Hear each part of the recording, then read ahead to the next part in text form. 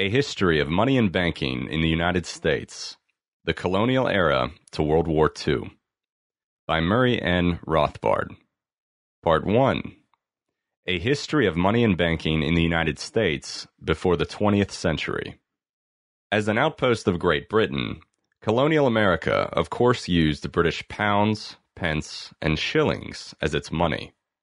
Great Britain was officially on a silver standard, with the shilling defined as equal to 86 pure troy grains of silver, and with silver as so defined legal tender for all debts. That is, creditors were compelled to accept silver at that rate.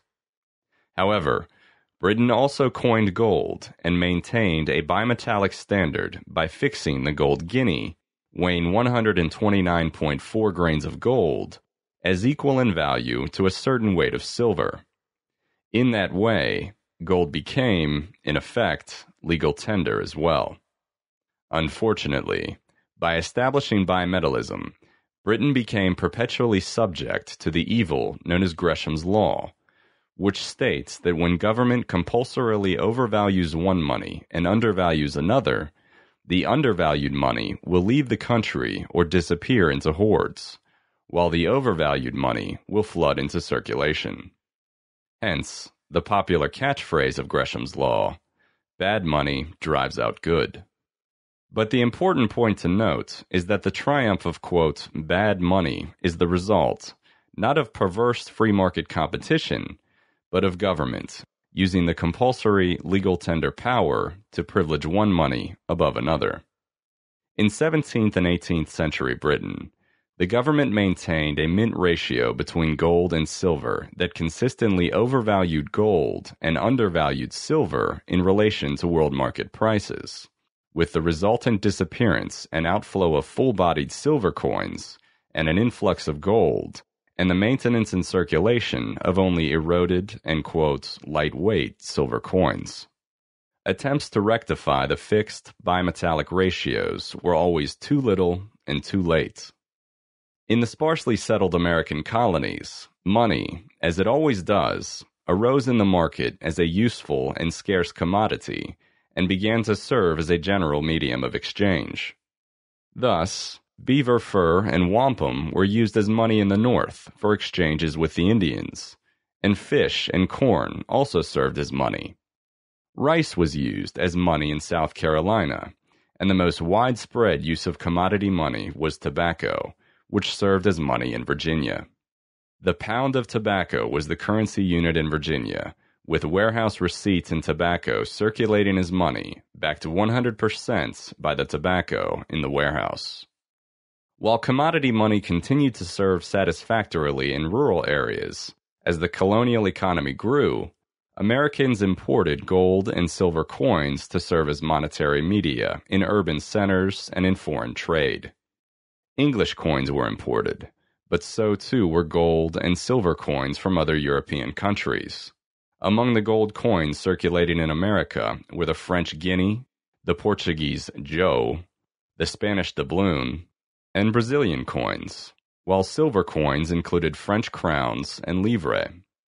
It is important to realize that gold and silver are international commodities, and that therefore, when not prohibited by government decree, foreign coins are perfectly capable of serving as standard monies. There is no need to have a national government monopolize the coinage, and indeed, foreign gold and silver coins constituted much of the coinage in the United States until Congress outlawed the use of foreign coins in 1857. Thus, if a free market is allowed to prevail in a country, foreign coins will circulate naturally. Silver and gold coins will tend to be valued in proportion to their respective weights, and the ratio between silver and gold will be set by the market in accordance with their relative supply and demand. Shilling and dollar manipulations. By far the leading specie coin circulating in America was the Spanish silver dollar, defined as consisting of 387 grains of pure silver. The dollar was divided into pieces of eight, or bits, each consisting of one eighth of a dollar. Spanish dollars came into the North American colonies through lucrative trade with the West Indies. The Spanish silver dollar had been the world's outstanding coin since the early 16th century and was spread partially by dint of the vast silver output of the Spanish colonies in Latin America. More important, however, was that the Spanish dollar, from the 16th to the 19th century, was relatively the most stable and least debased coin in the Western world.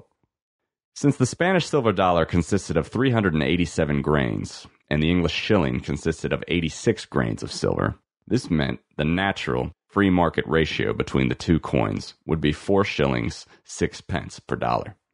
Constant complaints, both by contemporaries and by some later historians, arose about an alleged scarcity of money, especially of specie, in the colonies, allegedly justifying numerous colonial paper money schemes to remedy that shortage. In reality, there was no shortage. It is true that England, in a mercantilist attempt to hoard specie, kept minting for its own prerogative and outlawed minting in the colonies. It also prohibited the export of English coin to America. But this did not keep specie from America, for, as we have seen, Americans were able to import Spanish and other foreign coin, including English, from other countries. Indeed, as we shall see, it was precisely paper money issues that led, by Gresham's law, to outflows and disappearance of specie from the colonies. In their own mercantilism, the colonial governments early tried to hoard their own specie by debasing their shilling standards in terms of Spanish dollars. Whereas their natural weights dictated a ratio of 4 shillings sixpence to the dollar, Massachusetts, in 1642, began a general colonial process of competitive debasement of shillings. Massachusetts arbitrarily decreed that the Spanish dollar be valued at 5 shillings. The idea was to attract an inflow of Spanish silver dollars into that colony and to subsidize Massachusetts exports by making their prices cheaper in terms of dollars. Soon, Connecticut and other colonies followed suit, each persistently upping the ante of debasement. The result was to increase the supply of nominal units of account by debasing the shilling, inflating domestic prices, and thereby bringing the temporary export stimulus to a rapid end. Finally, the English government brought a halt to this feudal and inflationary practice in 1707. But the colonial governments had already found another, and far more inflationary, arrow for their bow the invention of government fiat paper money. Government paper money. Apart from medieval China, which invented both paper and printing centuries before the West, the world had never seen government paper money until the colonial government of Massachusetts emitted a fiat paper issue in 1690. Massachusetts was accustomed to launching plunder expeditions against the prosperous French colony in Quebec. Generally, the expeditions were successful and would return to Boston, sell their booty, and pay off the soldiers with the proceeds. This time, however, the expedition was beaten back decisively, and the soldiers returned to Boston in ill humor grumbling for their pay. Discontented soldiers are ripe for mutiny, so the Massachusetts government looked around in concern for a way to pay the soldiers. It tried to borrow 3,000 to 4,000 pounds from Boston merchants, but evidently the Massachusetts credit rating was not the best. Finally, Massachusetts decided in December 1690 to print 7,000 pounds in paper notes and to use them to pay the soldiers. Suspecting that the public would not accept irredeemable paper, the government made a twofold pledge when it issued the notes that it would redeem them in gold or silver out of tax revenue in a few years, and that absolutely no further paper notes would be issued. Characteristically, however, both parts of the pledge went quickly by the board. The issue limit disappeared in a few months, and all the bills continued unredeemed for nearly 40 years. As early as February 1691, the Massachusetts government proclaimed that its issue had fallen far short and so it proceeded to emit 40,000 pounds of new money to repay all of its outstanding debt, again pledging falsely that this would be the absolute final note issue. But Massachusetts found that the increase in the supply of money, coupled with a fall in the demand for paper because of growing lack of confidence in future redemption in specie, led to a rapid depreciation of new money in relation to specie. Indeed, within a year after the initial issue, the new paper pound had depreciated on the market by 40% against specie. By 1692, the government moved against this market evaluation by use of force, making the paper money compulsory legal tender for all debts at par with specie, and by granting a premium of 5% on all payment of debts to the government made in paper notes. This legal tender law had the unwanted effect of Gresham's Law the disappearance of specie circulation in the colony. In addition, the expanding paper issues drove up prices and hampered exports from the colony. In this way, the specie shortage became a creature rather than the cause of fiat paper issues. Thus, in 1690, before the orgy of paper issues began, 200,000 pounds of silver money was available in New England. By 1711, however, with Connecticut and Rhode Island having followed suit in paper money issue, 240,000 pounds of paper money had been issued in New England, but the silver had almost disappeared from circulation. Ironically, then, Massachusetts and her sister colonies' issue of paper money created, rather than solved, any scarcity of money. The new paper drove out the old specie, the consequent driving up of prices and depreciation of paper scarcely relieved any alleged money scarcity among the public. But since the paper was issued to finance government expenditures and pay public debts, the government, not the public, benefited from the fiat issue. After Massachusetts had emitted another huge issue of 500,000 pounds in 1711 to pay for another failed expedition against Quebec, not only was the remainder of the silver driven from circulation, but despite the legal tender law, the paper pound depreciated 30% against silver. Massachusetts pounds, officially 7 shillings to the silver ounce, had now fallen on the market to 9 shillings per ounce. Depreciation proceeded in this and other colonies despite fierce governmental attempts to outlaw it, backed by fines, imprisonment, and total confiscation of property for the high crime of not accepting the paper at par. Faced with a further shortage of money due to the money issues, Massachusetts decided to press on. In 1716, it formed a government land bank and issued 100,000 pounds in notes to be loaned on real estate in the various counties of the province. Prices rose so dramatically that the tide of opinion in Massachusetts began to turn against paper, as writers pointed out that the result of issues was a doubling of prices in the past 20 years, depreciation of paper, and the disappearance of Spanish silver through the operation of Gresham's Law. From then on, Massachusetts, pressured by the British Crown, tried intermittently to reduce the bills in circulation and return to a specie currency, but was hampered by its assumed obligations to honor the paper notes at par of its sister New England colonies. In 1744, another losing expedition against the French led Massachusetts to issue an enormous amount of paper money over the next several years. From 1744 to 1748, paper money in circulation expanded from 300,000 pounds to 2.5 million pounds, and the depreciation in Massachusetts was such that silver had risen on the market to 60 shillings an ounce, 10 times the price at the beginning of an era of paper money in 1690. By 1740, every colony but Virginia had followed suit in fiat paper money issues, and Virginia succumbed in the late 1750s in trying to finance part of the French and Indian War against the French. Similar consequences dramatic inflation, shortage of specie, massive depreciation despite compulsory par laws ensued in each colony.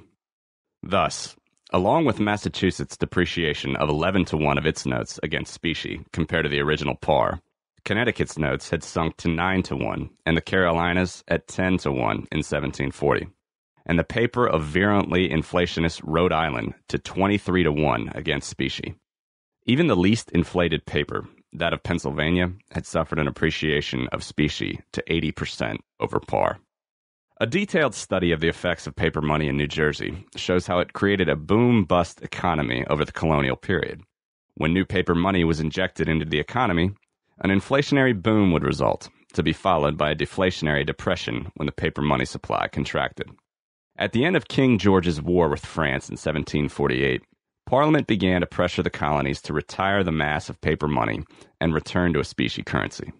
In 1751, Great Britain prohibited all further issues of legal tender paper in New England and ordered a move toward redemption of existing issues in specie. Finally, in 1764, Parliament extended the prohibition of new issues to the remainder of the colonies and required the gradual retirement of outstanding notes. Following the lead of Parliament, the New England colonies, apart from Rhode Island, decided to resume specie payment and retire their paper notes rapidly at the current depreciated market rate. The panicky opponents of specie resumption and monetary contraction made the usual predictions in such a situation that the result would be a virtual absence of money in New England and the consequent ruination of all trade. Instead, however, after a brief adjustment, the resumption and retirement led to a far more prosperous trade and production, the harder money and lower prices attracting an inflow of specie.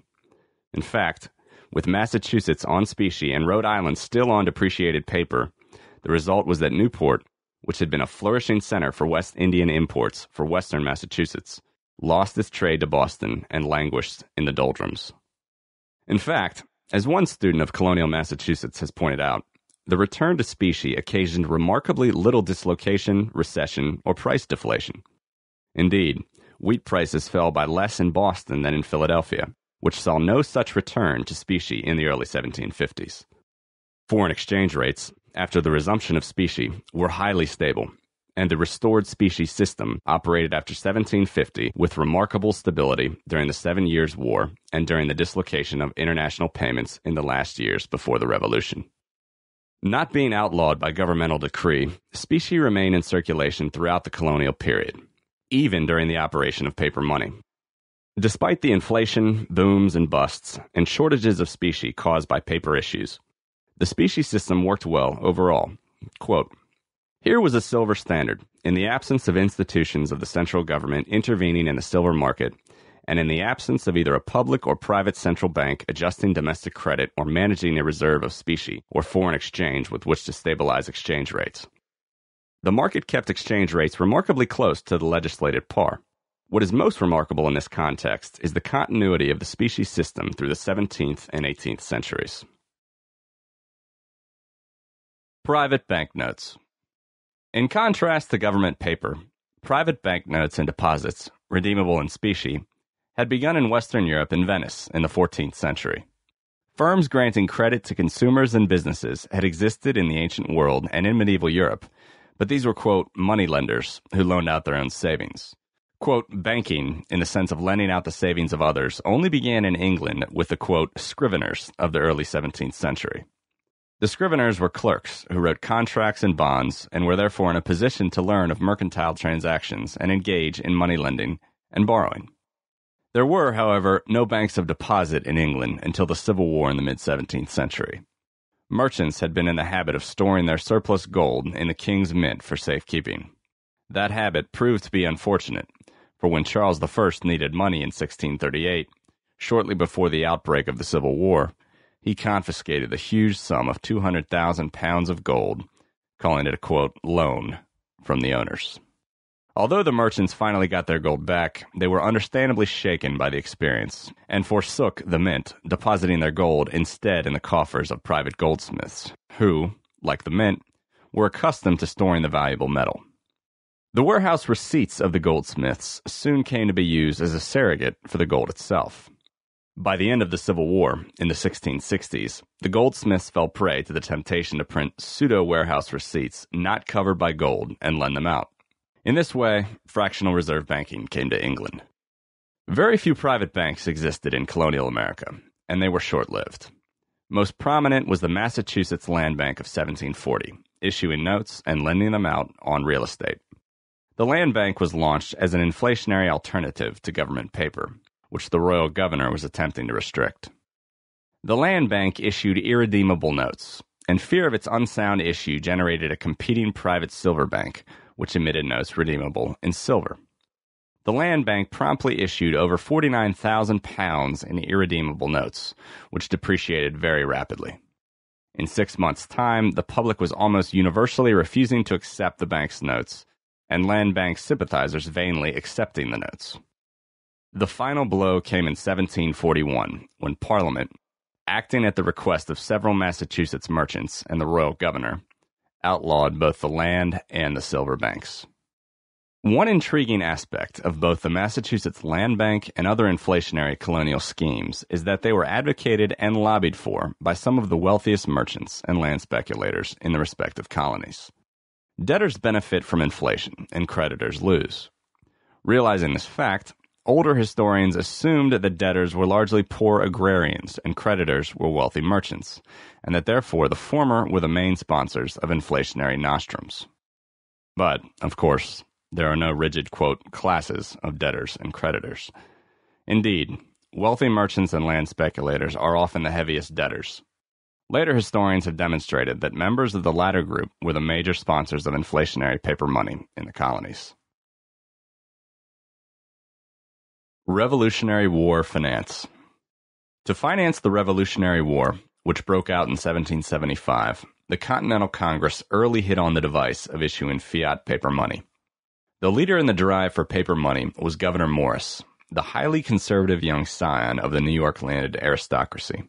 There was no pledge to redeem the paper, even in the future, but it was supposed to be retired in seven years by taxes levied pro rata by the separate states.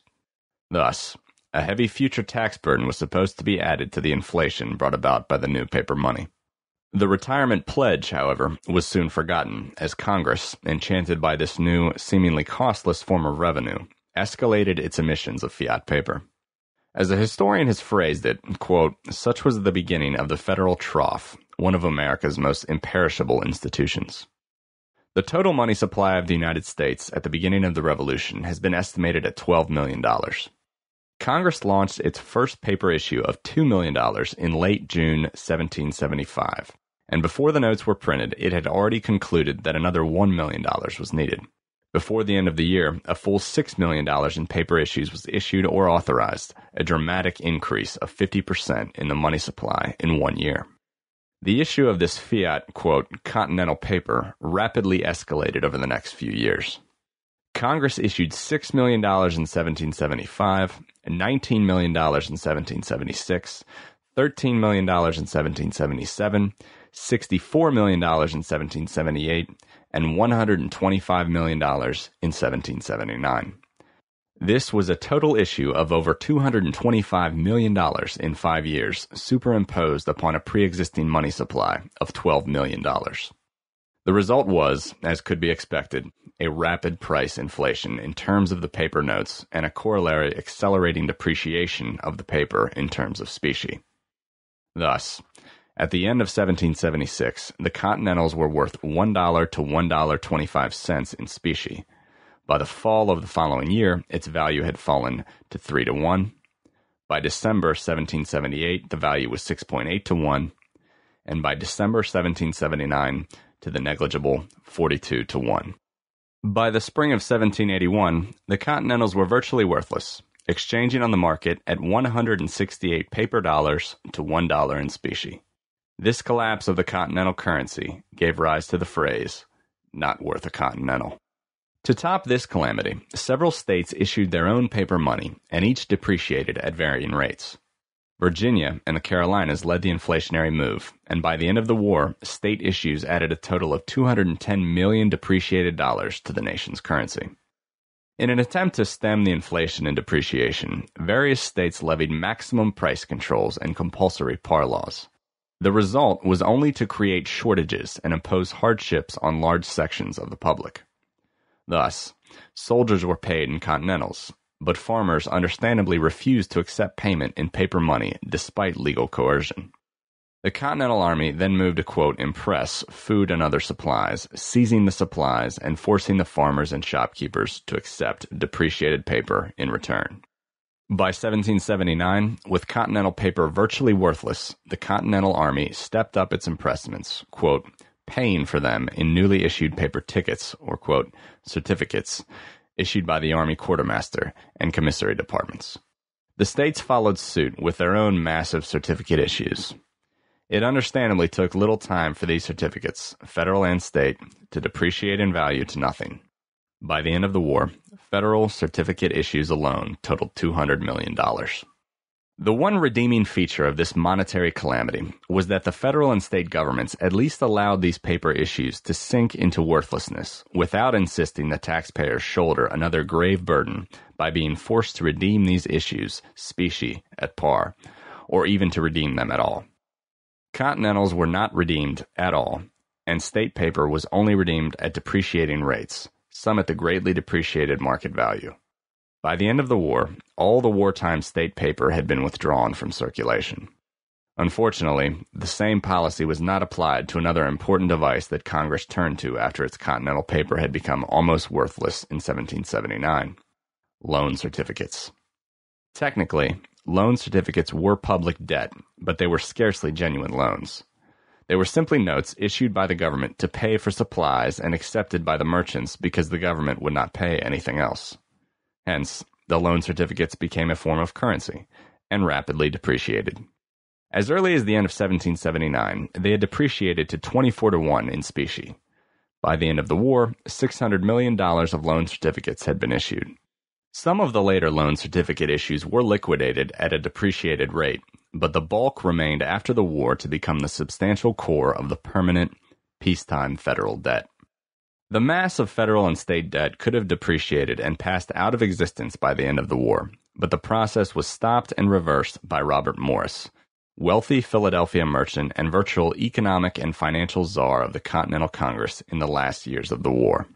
Morris, leader of the nationalist forces in American politics, moved to make the depreciated federal debt ultimately redeemable in par and also agitated for federal assumption of the various state debts. The reason for this was twofold. A. To confer a vast subsidy on speculators who had purchased the public debt at highly depreciated values by paying interest and principal at par in specie. And B. To build up agitation for taxing power in the Congress, which the Articles of Confederation refused to allow to the federal government. The decentralist policy of the states raising taxes or issuing new paper money to pay off the pro rata federal debt, as well as their own, was thwarted by the adoption of the Constitution, which brought about the victory of the nationalist program, led by Morris's youthful disciple and former aide, Alexander Hamilton. The Bank of North America. Robert Morris's nationalist vision was not confined to a strong central government, the power of the federal government to tax, and a massive public debt fastened permanently upon the taxpayers. Shortly after he assumed total economic power in Congress in the spring of 1781, Morris introduced a bill to create the first commercial bank, as well as the first central bank in the history of the new republic. This bank, headed by Morris himself, the Bank of North America, was not only the first fractional reserve commercial bank in the U.S., it was to be a privately owned central bank, modeled after the Bank of England. The money system was to be grounded upon specie, but with a controlled monetary inflation pyramiding an expansion of money and credit upon a reserve of specie. The Bank of North America, which quickly received a federal charter and opened its doors at the beginning of 1782, received the privilege from the government of its notes being receivable in all duties and taxes to all governments at par with specie. In addition, no other banks were to be permitted to operate in the country. In return for its monopoly license to issue paper money, the bank would graciously lend most of its newly created money to the federal government to purchase public debt and be reimbursed by the hapless taxpayer. The Bank of North America was made the depository for all congressional funds. The first central bank in America rapidly loaned $1.2 million to the Congress, headed also by Robert Morris. Despite Robert Morris's power and influence and the monopoly privileges conferred upon his bank, it was perceived in the market that the bank's notes were being inflated compared with specie. Despite the nominal redeemability of the Bank of North America's notes in specie, the market's lack of confidence in the inflated notes led to their depreciation outside its home base in Philadelphia. The bank even tried to shore up the value of the notes by hiring people to urge redeemers of its notes not to ruin everything by insisting upon specie, a move scarcely calculated to improve ultimate confidence in the bank. After a year of operation, however, Morris, his political power slipping after the end of the war, moved quickly to end his bank's role as a central bank and to shift it to the status of a private commercial bank chartered by the state of Pennsylvania.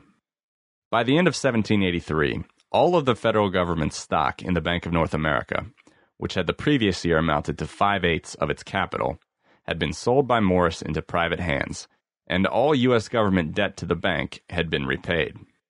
The first experiment with a central bank in the United States had ended.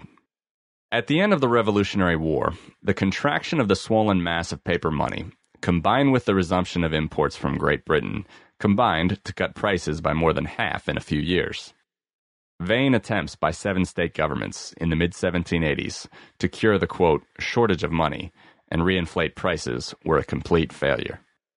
Part of the reason for the state paper issues was a frantic attempt to pay the wartime public debt, state and pro rata federal, without resorting to crippling burdens of taxation. The increased paper issues merely added to the quote shortage by stimulating the export of specie and the import of commodities from abroad. Once again, Gresham's law was at work. State paper issues, despite compulsory par laws, merely depreciated rapidly and aggravated the shortage of specie. A historian discusses what happened to the paper issues of North Carolina. Quote, in 1787 to 1788, the specie value of the paper had shrunk by more than 50%. Coin vanished, and since the paper had practically no value outside the state, merchants could not use it to pay debts they owed abroad. Hence, they suffered severe losses when they had to accept it at inflated values in the settlement of local debts.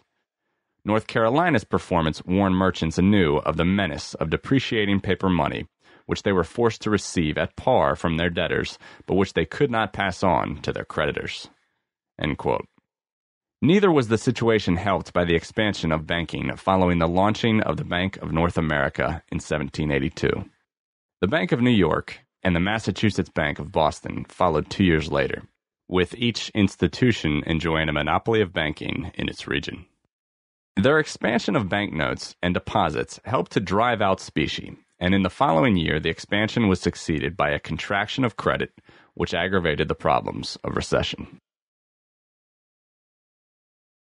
The United States bimetallic coinage. Since the Spanish silver dollar was the major coin circulating in North America during the colonial and Confederation periods, it was generally agreed that the quote dollar would be the basic currency unit of the new United States of America.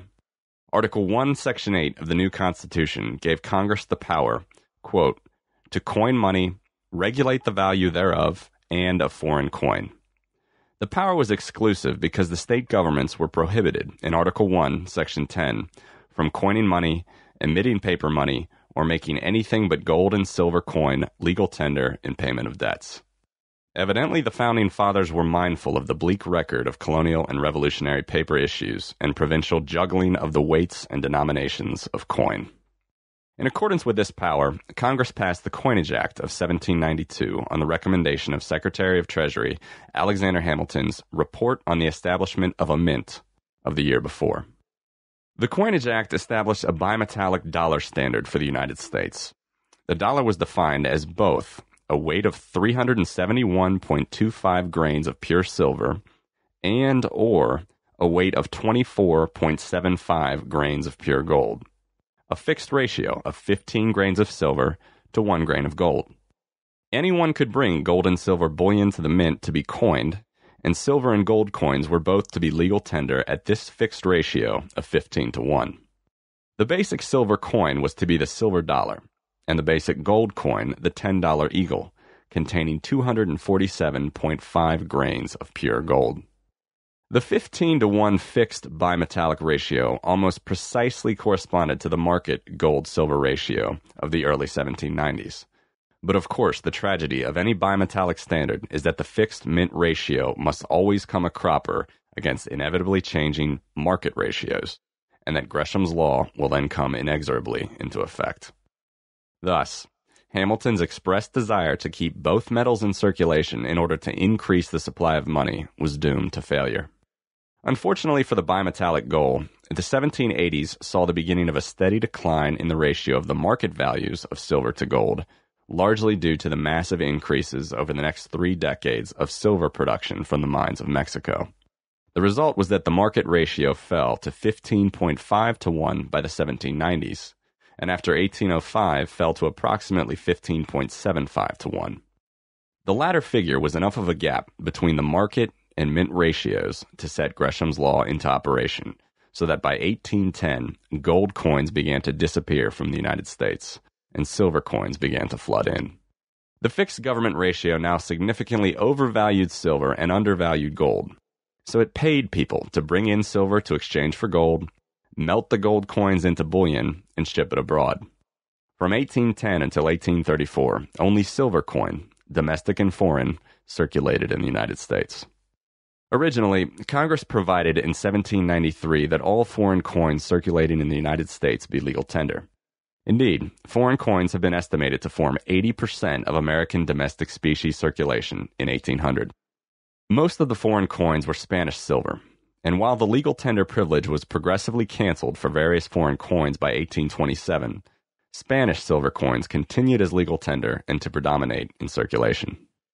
Spanish dollars, however, soon began to be heavier in weight by 1 to 5% over their American equivalents, even though they circulated at face value here, and so the American mint ratio overvalued American more than Spanish dollars. As a result, the Spanish silver dollars were re exported, leaving American silver dollars in circulation. On the other hand, fractional Spanish silver coins, half dollars, quarter dollars, dimes, and half dimes, were considerably overvalued in the US, since they circulated at face value and yet were far lighter weight. Gresham's law again came into play, and the result was that American silver fractional coins were exported and disappeared, leaving Spanish silver fractional coins as the major currency. To make matters still more complicated, American silver dollars, though lighter weight than the Spanish, circulated equally by name in the West Indies. As a result, American silver dollars were exported to the Caribbean. Thus, by the complex workings of Gresham's law, the United States was left, especially after 1820, with no gold coins and only Spanish fractional silver coin in circulation. The First Bank of the United States, 1791 to 1811. A linchpin of the Hamiltonian financial program was a central bank, the first bank of the United States replacing the abortive Bank of North America experiment. Hamilton's Report on a National Bank of December 1790 urged such a bank to be owned privately, with the government owning one fifth of the shares. Hamilton argued that the alleged, quote, scarcity of specie currency needed to be overcome by infusions of paper, and the new bank was to issue such paper, to be invested in the assumed federal debt and in subsidy to manufacturers. The banknotes were to be legally redeemable in specie on demand, and its notes were to be kept at par with specie by the federal government's accepting its notes in taxes, giving it a quasi legal tender status. Also, the federal government would confer upon the bank the prestige of being the depository for its public funds. In accordance with Hamilton's wishes, Congress quickly established the first bank of the United States in February 1791. The charter of the bank was for 20 years, and it was assured a monopoly of the privilege of having a national charter during that period. In a significant gesture of continuity with the Bank of North America, the latter's longtime Bank of North America president and former partner of Robert Morris, Thomas Willing of Philadelphia, was made president of the new Bank of the United States. The Bank of the United States promptly fulfilled its inflationary potential by issuing millions of dollars in paper money and demand deposits pyramiding on top of $2 million in specie. The Bank of the United States invested heavily in loans to the United States government. In addition to $2 million invested in the assumption of pre existing long term debt assumed by the new federal government, the Bank of the United States engaged in massive temporary lending to the government, which reached $6.2 million in 1796. The result of the outpouring of credit and paper money by the new Bank of the United States was an inflationary rise in prices. Thus, wholesale prices rose from an index of 85 in 1791 to a peak of 146 in 1796, an increase of 72%. In addition, speculation boomed in government securities and real estate values were driven upward. Pyramiding on top of the Bank of the United States expansion and aggravating the paper money expansion and the inflation was a flood of newly created commercial banks. Whereas there were only three commercial banks before the founding of the United States, and only four by the establishment of the Bank of the United States, eight new banks were founded shortly thereafter, in 1791 and 1792, and 10 more by 1796. Thus, the Bank of the United States and its monetary expansion spurred the creation of 18 new banks in five years. The establishment of the Bank of the United States precipitated a grave constitutional argument. The Jeffersonians arguing that the Constitution gave the federal government no power to establish a bank. Hamilton, in turn, paved the way for virtually unlimited expansion of federal power by maintaining that the Constitution, quote, implied a grant of power for carrying out vague national goals. The Hamiltonian interpretation won out officially in the decision of Supreme Court Justice John Marshall in McCulloch v. Maryland in 1819. Despite the Jeffersonian hostility to commercial and central banks, the Democratic Republicans, under the control of quasi Federalist moderates rather than militant old Republicans, made no move to repeal the charter of the Bank of the United States before its expiration in 1811 and happily multiplied the number of state banks and bank credit in the next two decades. Thus, in 1800, there were 28 state banks. By 1811, the number had escalated to 117, a fourfold increase. In 1804, there were 64 state banks, of which we have data on 13, or 20% of the banks. These reported banks had $0.98 million in specie, as against notes and demand deposits outstanding of $2.82 million, a reserve ratio of 0.35, or a notes plus deposits pyramiding on top of specie of 2.88 to 1. By 1811, 26% of the 117 banks reported a total of $2.57 million, but the two and a half fold increase in specie was more than matched by an emission of $10.95 million of notes and deposits, a nearly fourfold increase. This constituted a pyramiding of 4.26 to 1 on top of specie, or a reserve ratio of these banks of 0.23. As for the Bank of the United States, which acted in conjunction with the federal government and with the state banks, in January 1811 it had specie assets of $5.01 million and notes and deposits outstanding of $12.87 million, a pyramid ratio of 2.57 to 1, or a reserve ratio of 0.39. Finally, when the time for rechartering the Bank of the United States came in 1811, the recharter bill was defeated by one vote each in the House and Senate. Recharter was fought for by the Madison administration, aided by nearly all the Federalists in Congress, but was narrowly defeated by the bulk of the Democratic Republicans, including the hard money old Republican forces. In view of the widely held misconception among historians that central banks serve and are looked upon as restraints upon state or private bank inflation, it is instructive to note that the major forces in favor of recharter were merchants, chambers of commerce, and most of the state banks. Merchants found that the bank had expended credit at cheap rates and had eased the external complaint about a quote, scarcity of money. Even more suggestive is the support of the state banks, which hailed the bank as quote advantageous and worried about the contraction of credit if the bank were forced to liquidate. The Bank of New York, which had been founded by Alexander Hamilton, in fact, lauded the Bank of the United States because it had been able, quote, in case of any sudden pressure upon the merchants, to step forward to their aid in a degree which the state institutions were unable to do. The War of 1812 and its aftermath. War has generally had grave and fateful consequences for the American monetary and financial system. We have seen that the Revolutionary War occasioned a mass of depreciated fiat paper worthless continentals, a huge public debt, and the beginnings of central banking in the Bank of North America. The Hamiltonian financial system, and even the Constitution itself, was in large part shaped by the Federalist desire to fund the federal and state public debt via federal taxation. And a major reason for the establishment of the first Bank of the United States was to contribute to the funding of the newly assumed federal debt.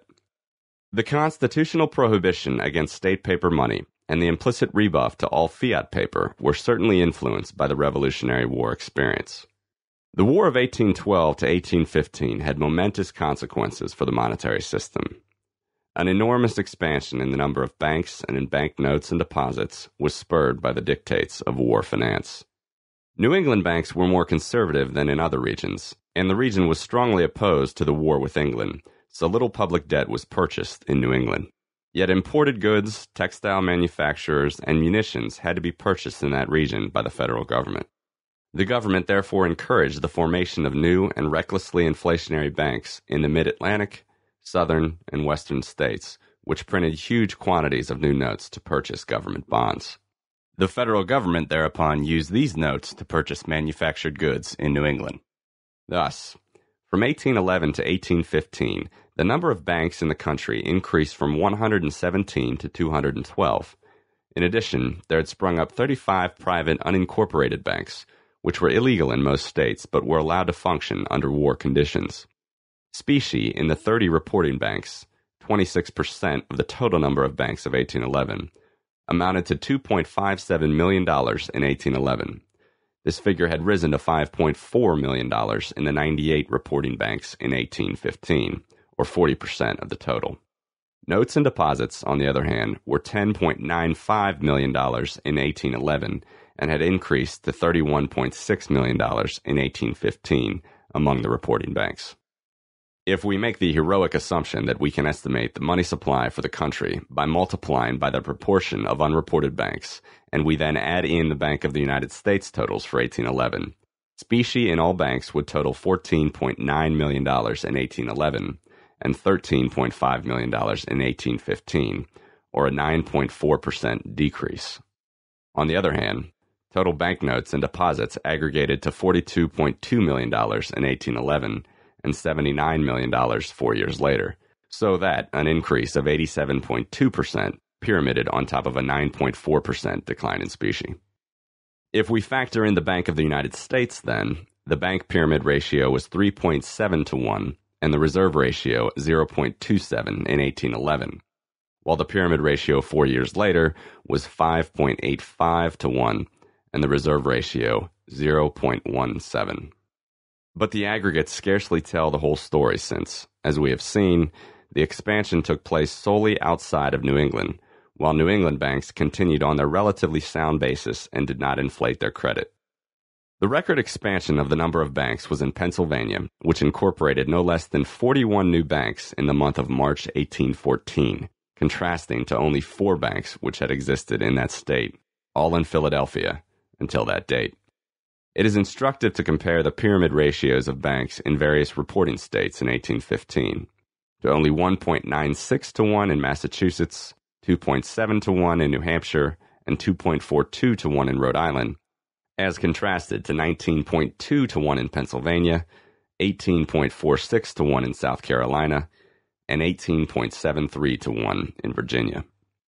This monetary situation meant that the United States government was paying for New England manufactured goods with a mass of inflated bank paper outside the region. Soon, as the New England banks called upon the other banks to redeem their notes in specie, the mass of inflating banks faced imminent insolvency. It was at this point that a fateful decision was made by the U.S. government and concurred in by the governments of the states outside New England.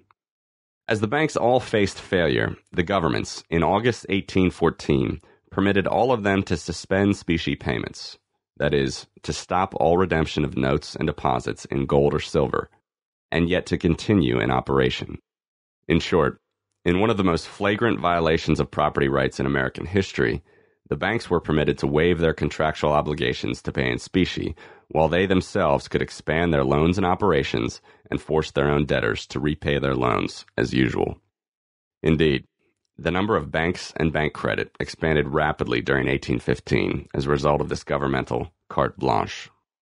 It was precisely during 1815 when virtually all the private banks sprang up, the number of banks increasing in one year from 208 to 246 Reporting banks increased their pyramid ratios from 3.17 to 1 in 1814 to 5.85 to 1 the following year, a drop of reserve ratios from 0.32 to 0.17. Thus, if we measure bank expansion by pyramiding in reserve ratios, we see that a major inflationary impetus during the War of 1812 came during the year 1815 after specie payments had been suspended throughout the country by government action. Historians dedicated to the notion that central banks restrain state or private bank inflation have placed the blame for the multiplicity of banks and bank credit inflation during the War of 1812 on the absence of a central bank. But as we have seen, both the number of banks and bank credit grew apace during the period of the first Bank of the United States, pyramiding on top of the latter's expansion, and would continue to do so under the second bank, and, for that matter, the Federal Reserve System in later years. And the federal government, not the state banks themselves, is largely to blame for encouraging new, inflated banks to monetize the war debt. Then, in particular, it allowed them to suspend specie payment in August 1814 and to continue that suspension for two years after the war was over, until February 1817. Thus, for two and a half years, banks were permitted to operate and expand while issuing what was tantamount to fiat paper and bank deposits. Another neglected responsibility of the U.S. government for the wartime inflation was its massive issue of Treasury notes to help finance the war effort. While this Treasury paper was interest bearing and was redeemable in specie in one year, the cumulative amount outstanding functioned as money, as it was used in transactions among the public and was also employed as reserves or, quote, high powered money by the expanding banks. The fact that the government received the Treasury notes for all debts and taxes gave the notes a quasi legal tender status. Most of the Treasury notes were issued in 1814 and 1815, when their outstanding total reached $10.65 million and $15.46 million, respectively. Not only did the Treasury notes fuel the bank inflation, but their quasi legal tender status brought Gresham's Law into operation, and specie flowed out of the banks and public circulation outside of New England and into New England and out of the country. The expansion of bank money and treasury notes during the war drove up prices in the United States. Wholesale price increases from 1811 to 1815 averaged 35%, with different cities experiencing a price inflation ranging from 28% to 55%. Since foreign trade was cut off by the war, prices of imported commodities rose far more, averaging 70%. But more important than this inflation, and at least as important as the wreckage of the monetary system during and after the war, was the precedent that the two and a half year long suspension of specie payments set for the banking system for the future. From then on, every time there was a banking crisis brought on by inflationary expansion and demands for redemption in specie, state and federal governments looked the other way and permitted general suspension of specie payments while bank operations continued to flourish. It thus became clear to the banks that in a general crisis they would not be required to meet the ordinary obligations of contract law or of respect for property rights, so their inflationary expansion was permanently encouraged by this massive failure of government to fulfill its obligation to enforce contracts and defend the rights of property. Suspensions of specie payments informally or officially permeated the economy outside of New England during the Panic of 1819. Occurred everywhere outside of New England in 1837 and in all states south and west of New Jersey in 1839. A general suspension of specie payments occurred throughout the country once again in the Panic of 1857. It is important to realize then, in evaluating the American banking system before the Civil War, that even in the later years, when there was no central bank, the system was not, quote, free in any proper economic sense. Free banking can only refer to a system in which banks are treated as any other business, and that therefore failure to obey contractual obligations, in this case, prompt redemption of notes and deposits in specie, must incur immediate insolvency and liquidation. Burdened by the tradition of allowing general suspensions that arose in the United States in 1814, the pre Civil War banking system, despite strong elements of competition when not saddled with a central bank, must rather be termed in the phrase of one economist as, quote, decentralization without freedom. From the 1814 to 1817 experience on, the notes of state banks circulated at varying rates of depreciation, depending on public expectations of how long they would be able to keep redeeming their obligations in specie. These expectations, in turn, were heavily influenced by the amount of notes and deposits issued by the bank, as compared with the amount of specie held in its vaults. In that era of poor communications and high transportation costs, the tendency for a banknote was to depreciate in proportion to its distance from the home office. One effective, if time consuming, method of enforcing redemption on nominally specie paying banks was the emergence of a class of professional, quote, money brokers. These brokers would buy up a mass of depreciated notes of nominally specie paying banks and then travel to the home office of the bank to demand redemption in specie. Merchants, money brokers, bankers, and the general public were aided in evaluating the various state bank notes by the development of monthly journals known as, quote, banknote detectors. These detectors were published by money brokers and periodically evaluated the market rate of various banknotes in relation to specie. Quote, wildcat banks were so named because in that age of poor transportation, banks hoping to inflate and not worry about redemption attempted to locate in wildcat country where money brokers would find it difficult to travel. It should be noted that if it were not for periodic suspension, there would have been no room for wildcat banks or for varying degrees of lack of confidence in the genuineness of specie redemption at any given time. It can be imagined that the advent of the money broker was not precisely welcomed in the town of an errant bank, and it was easy for the townspeople to blame the resulting collapse of bank credit on the sinister stranger rather than on the friendly neighborhood banker. During the Panic of 1819, when banks collapsed after an inflationary boom lasting until 1817, Obstacles and intimidation were often the lot of those who attempted to press the banks to fulfill their contractual obligation to pay in specie. Thus, Maryland and Pennsylvania, during the Panic of 1819, engaged in almost bizarre inconsistency in this area. Maryland, on February 15, 1819, enacted a law, quote, to compel banks to pay specie for their notes or forfeit their charters. Yet two days after this seemingly tough action, it passed another law relieving banks of any obligation to redeem notes held by money brokers, quote, the major force ensuring the people of this state from the evil arising from the demands made on the banks of this state for gold and silver by brokers. Pennsylvania followed suit a month later. In this way, these states could claim to maintain the virtue of enforcing contract and property rights while moving to prevent the most effective method of ensuring such enforcement. During the 1814 to 1817 general suspension, note holders who sued for specie payments seldom gained satisfaction in the courts. Thus, Isaac Bronson, a prominent Connecticut banker in a specie paying region, sued various New York banks for payment of notes in specie. He failed to get satisfaction, and for his pains received only abuse in the New York press as an agent of, quote, misery and ruin. The banks south of Virginia largely went off specie payment during the Panic of 1819, and in Georgia, at least general suspension continued almost continuously to the 1830s. One customer complained during 1819 that in order to collect in specie from the largely state owned Bank of Darien, Georgia, he was forced to swear before a justice of the peace in the bank that each and every note he presented to the bank was his own and that he was not a money broker or an agent for anyone else. He was forced to swear to the oath in the presence of at least five bank directors and the bank's cashier, and he was forced to pay a fee of $1.36 on each note in order to acquire specie on demand. Two years later, when a note holder demanded $30,000 in specie at the Planters Bank of Georgia, he was told he would be paid in pennies only, while another customer was forced to accept pennies handed out to him at a rate of $60 a day. During the panic, North Carolina and Maryland in particular moved against the money brokers in a vain attempt to prop up the depreciated notes of their state's banks.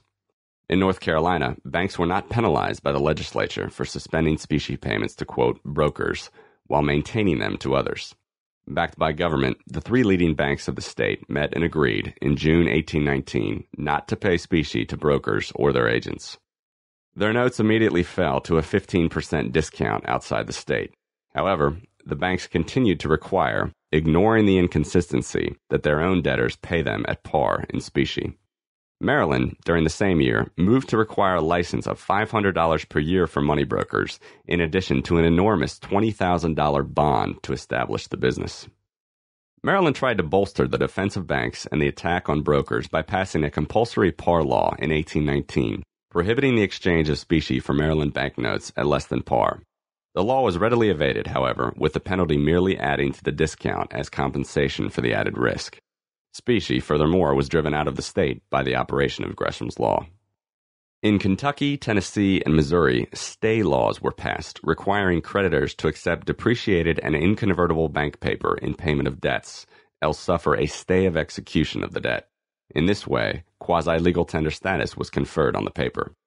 Many states permitted banks to suspend specie payment, and four western states, Tennessee, Kentucky, Missouri, and Illinois, established state owned banks to try to overcome the Depression by issuing large issues of inconvertible paper money. In all states trying to prop up inconvertible bank paper, a quasi legal status was also conferred on the paper by agreeing to receive the notes in taxes or debts due to the state. The result of all the inconvertible paper schemes was rapid and massive depreciation, disappearance of specie, succeeded by speedy liquidation of the new state owned banks. An amusing footnote on the problem of banks being protected against their contractual obligations to pay in specie occurred in the course of correspondence between one of the earliest economists of America, the young Philadelphia state senator Condy Raguet, and the eminent English economist David Ricardo. Ricardo had evidently been bewildered by Raguet's statement that banks technically required to pay in specie often were not called upon to do so. On April 18, 1821, Raguet replied, explaining the power of banks in the United States. Quote, you state in your letter that you find it difficult to comprehend why persons who had a right to demand coin from the banks in payment of their notes so long forbore to exercise it. This no doubt appears paradoxical to one who resides in a country where an act of parliament was necessary to protect the bank, but the difficulty is easily solved. The whole of our population are either stockholders of banks or in debt to them. It is not the interest of the first to press the banks, and the rest are afraid. This is the whole secret. An independent man who was neither a stockholder or debtor, who would have ventured to compel the banks to do justice, would have been persecuted as an enemy of society. The Second Bank of the United States, 1816 to 1833. The United States emerged from the War of 1812 in a chaotic monetary state, with banks multiplying and inflating ad lib, checked only by the varying rates of depreciation of their notes. With banks freed from redeeming their obligations in specie, the number of incorporated banks increased during 1816 from 212 to 232. Clearly, the nation could not continue indefinitely with the issue of fiat money in the hands of discordant sets of individual banks. It was apparent that there were two ways out of the problem. One was the hard money path, which was advocated by the old Republicans and, for their own purposes, the Federalists. The federal and state governments would have sternly compelled the rollicking banks to redeem promptly in specie, and, when most of the banks outside of New England could not, to force them to liquidate. In that way, the mass of depreciated and inflated notes and deposits would have been swiftly liquidated, and specie would have poured back out of hoards and into the country to supply a circulating medium. The inflationary experience would have been over. Instead, the Democratic Republican establishment in 1816 turned to the old Federalist path, a new central bank, the second bank of the United States. Modeled closely after the first bank, the second bank a private corporation with one fifth of the shares owned by the federal government, was to create a national paper currency, purchase a large chunk of the public debt, and receive deposits of Treasury funds. The second Bank of the United States notes and deposits were to be redeemable in specie, and they were given quasi legal tender status by the federal government's receiving them in payment of taxes. That the purpose of establishing the Second Bank of the United States was to support the state banks in their inflationary course rather than crack down on them is seen by the shameful deal that the Second Bank made with the state banks as soon as it opened its doors in January 1817.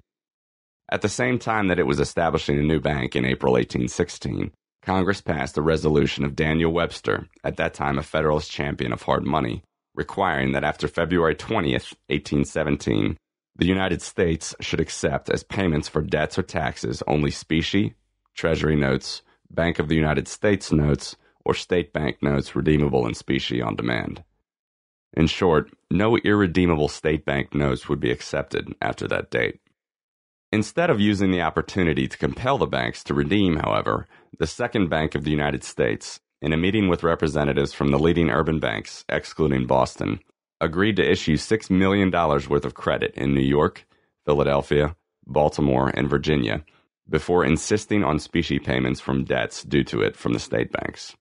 In return for that agreed upon massive inflation, the state banks graciously consented to resume specie payments. Moreover, the second bank and the state banks agreed to mutually support each other in any emergency which of course meant in practice that the far stronger Bank of the United States was committed to the propping up of the weaker state banks. The Second Bank of the United States was pushed through Congress by the Madison administration, and particularly by Secretary of the Treasury Alexander J. Dallas, whose appointment was lobbied for for that purpose. Dallas, a wealthy Philadelphia lawyer, was a close friend, counsel, and financial associate of Philadelphia merchant and banker Stephen Girard reputedly one of the two wealthiest men in the country. Toward the end of its term, Girard was the largest stockholder of the First Bank of the United States, and during the War of 1812, Girard became a very heavy investor in the war debt of the federal government. Both as a prospective large stockholder and as a way to unload his public debt, Girard began to agitate for a new Bank of the United States. Dallas's appointment as Secretary of Treasury in 1814 was successfully engineered by Dallas and his close friend, wealthy New York merchant and fur trader John Jacob Astor, also a heavy investor in war debt. When the Second Bank of the United States was established, Stephen Girard purchased the $3 million of the $28 million that remained unsubscribed. And he and Dallas managed to secure for the post of president of the new bank their good friend William Jones, former Philadelphia merchant. Much of the opposition to the founding of the Bank of the United States seems keenly prophetic. Thus, Senator William H. Wells, Federalist from Delaware, in arguing against the bank bill, said that it was, quote, ostensibly for the purpose of correcting the diseased state of our paper currency by restraining and curtailing the overissue of bank paper. And yet it came prepared to inflict upon us the same evil, being itself nothing more than simply a paper making machine.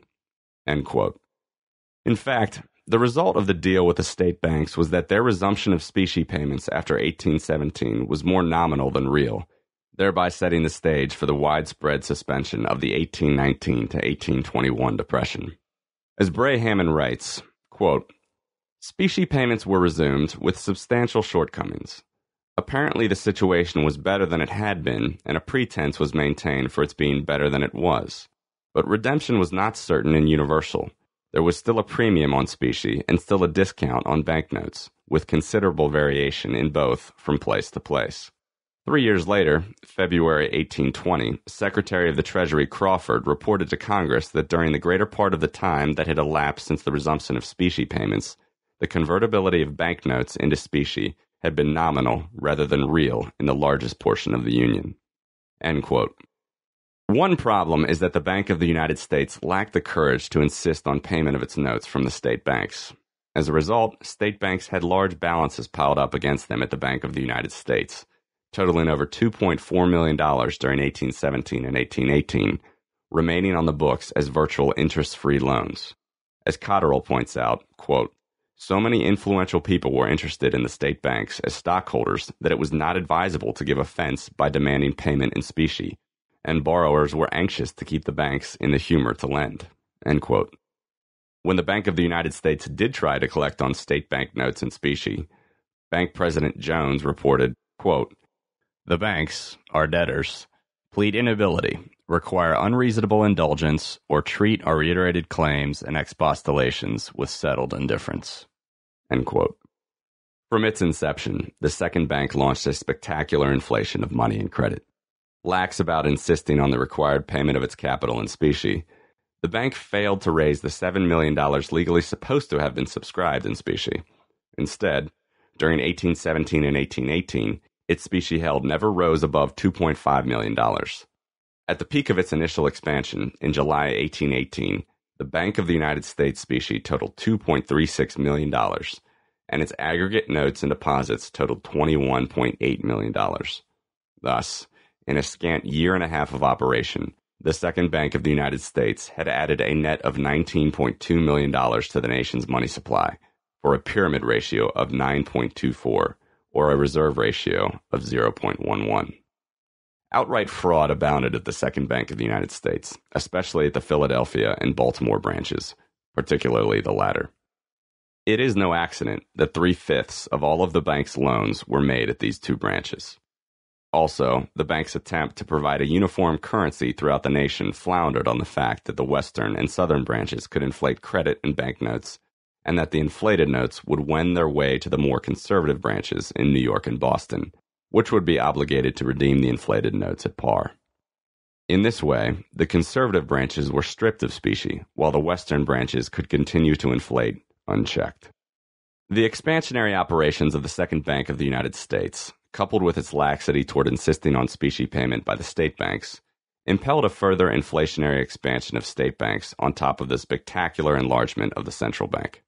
Thus, the number of incorporated state banks rose from 232 in 1816 to 338 in 1818. Kentucky alone chartered 40 new banks in the 1817 to 1818 legislative session. The estimated total money supply in the nation rose from $67.3 million in 1816 to $94.7 million in 1818, a rise of 40.7% in two years. Most of this increase was supplied by the Bank of the United States. The huge expansion of money and credit impelled a full scale inflationary boom throughout the country. Import prices had fallen in 1815 with the renewal of foreign trade after the war, but domestic prices were another story. Thus, the index of export staples in Charleston rose from 102 in 1815 to 160 in 1818. The prices of Louisiana staples at New Orleans rose from 178 to 224 in the same period. Other parts of the economy boomed. Exports rose from $81 million in 1815 to a peak of $116 million in 1818. Prices rose greatly in real estate, land, farm improvement projects, and slaves, much of it fueled by the use of bank credit for speculation in urban and rural real estate. There was a boom in turnpike construction, furthered by vast federal expenditures on turnpikes. Freight rates rose on steamboats, and shipbuilding shared in the general prosperity. Also, general boom conditions expanded stock trading so rapidly that traders, who had been buying and selling stocks on the curbs on Wall Street for nearly a century, found it necessary to open the first indoor stock exchange in the country, the New York Stock Exchange, in March 1817. Also, investment banking began in the United States during this boom period. Starting in July 1818, the government and the second bank began to see what dire straits they were in. The enormous inflation of money and credit, aggravated by the massive fraud, had put the Bank of the United States in real danger of going under and illegally failing to sustain specie payments. Over the next year, the bank began a series of heroic contractions, forced curtailment of loans, contractions of credit in the South and West, refusal to provide uniform national currency by redeeming its shaky branch notes at par, and seriously enforcing the requirement that its debtor banks redeem in specie. In addition, it purchased millions of dollars of specie from abroad. These heroic actions, along with the ouster of Bank President William Jones, managed to save the Bank of the United States, but the massive contraction of money and credit swiftly brought the United States its first widespread economic and financial depression. The first nationwide, quote, boom bust cycle had arrived in the United States. Impelled by rapid and massive inflation, quickly succeeded by contraction of money and credit. Banks failed, and private banks curtailed their credits and liabilities and suspended specie payments in most parts of the country. Contraction of money and credit by the Bank of the United States was almost unbelievable. Total notes and deposits falling from $21.9 million in June 1818 to $11.5 million only a year later. The money supply contributed by the Bank of the United States was thereby contracted by no less than 47.2% in one year. The number of incorporated banks at first remained the same and then fell rapidly from 1819 to 1822, falling from 341 in mid 1819 to 267 three years later. Total notes and deposits of state banks fell from an estimated $72 million in mid 1818 to $62.7 million a year later, a drop of 14% in one year. If we add in the fact that the U.S. Treasury contracted total Treasury notes from $8.81 million to zero during this period, we get the following estimated total money supply. In 1818, $103.5 million. In 1819, $74.2 million, a contraction in one year of 28.3%. The result of the contraction was a massive rash of defaults, bankruptcies of businesses and manufacturers, and liquidation of unsound investments during the boom. There was a vast drop in real estate values and rents, and in the prices of freight rates and slaves. Public land sales dropped greatly as a result of the contraction, declining from $13.6 million in 1818 to $1.7 million in 1820. Prices in general plummeted. The index of export staples fell from 158 in November 1818 to 77 in June 1819 an annualized drop of 87.9% during those seven months. South Carolina export staples dropped from 160 to 96 from 1818 to 1819, and commodity prices in New Orleans dropped from 200 in 1818 to 119 two years later. Falling money incomes led to a precipitous drop in imports, which fell from $122 million in 1818 to $87 million the year later. Imports from Great Britain fell from $43 million in 1818 to $14 million in 1820, and cotton and woolen imports from Britain fell from over $14 million each in 1818 to about $5 million each in 1820. The great fall in prices aggravated the burden of money debts, reinforced by the contraction of credit. Bankruptcies abounded, and one observer estimated that $100 million of mercantile debts to Europe were liquidated by bankruptcy during the crisis. Western areas, shorn of money by the collapse of the previously swollen paper and debt, often returned to barter conditions, and grain and whiskey were used as media of exchange. In the dramatic summing up of the hard money economist and historian William Gouge by its precipitous and dramatic contraction, quote, the bank was saved and the people were ruined. The Jacksonian Movement and the Bank War. Out of the bitter experiences of the Panic of 1819 emerged the beginnings of the Jacksonian Movement, dedicated to hard money, the eradication of fractional reserve banking in general, and of the Bank of the United States in particular.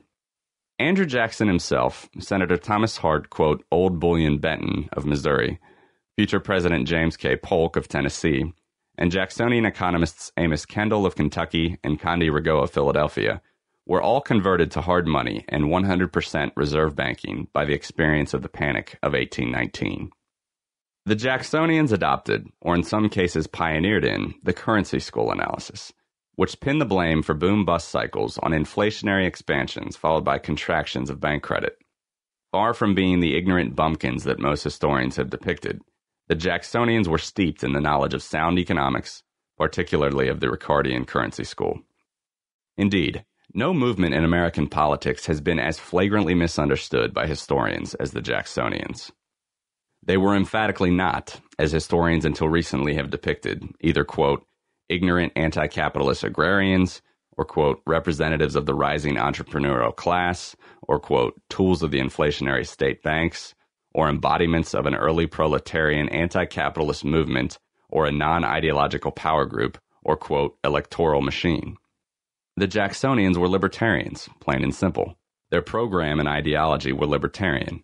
They strongly favored free enterprise and free markets, but they just as strongly opposed special subsidies and monopoly privileges conveyed by government to business or to any other group. They favored absolutely minimal government, certainly at the federal level, but also at the state level. They believed that government should be confined to upholding the rights of private property. In the monetary sphere, this meant the separation of government from the banking system and a shift from inflationary paper money and fractional reserve banking to pure specie and banks confined to 100% reserves. In order to put this program into effect, however, the Jacksonians faced the grueling task of creating a new party out of what had become a one party system after the War of 1812, in which the Democrat Republicans had ended up adopting the Federalist program, including the reestablishment of the Bank of the United States. The new party, the Democratic Party, was largely forged in the mid 1820s by New York political leader Martin Van Buren, newly converted by the aging Thomas Jefferson to the laissez faire cause. Van Buren cemented an alliance with Thomas Hart Benton of Missouri and the old Republicans of Virginia. But he needed a charismatic leader to take the presidency away from Adams and what was becoming known as the National Republican Party. He found that leader in Andrew Jackson, who was elected president under the new Democratic banner in 1828. The Jacksonians eventually managed to put into effect various parts of their free market and minimal government economic program, including a drastic lowering of tariffs, and for the first and probably the last time in American history, paying off the federal debt. But their major concentration was on the issue of money and banking. Here they had a coherent program, which they proceeded to install in rapidly succeeding stages. The first important step was to abolish central banking, in the Jacksonian view, the major inflationary culprit. The object was not to eliminate the Bank of the United States in order to free the state banks for inflationary expansion, but, on the contrary, to eliminate the major source of inflation before proceeding, on the state level, to get rid of fractional reserve banking. The Bank of the United States charter was up for renewal in 1836, but Jackson denounced the bank in his first annual message in 1829.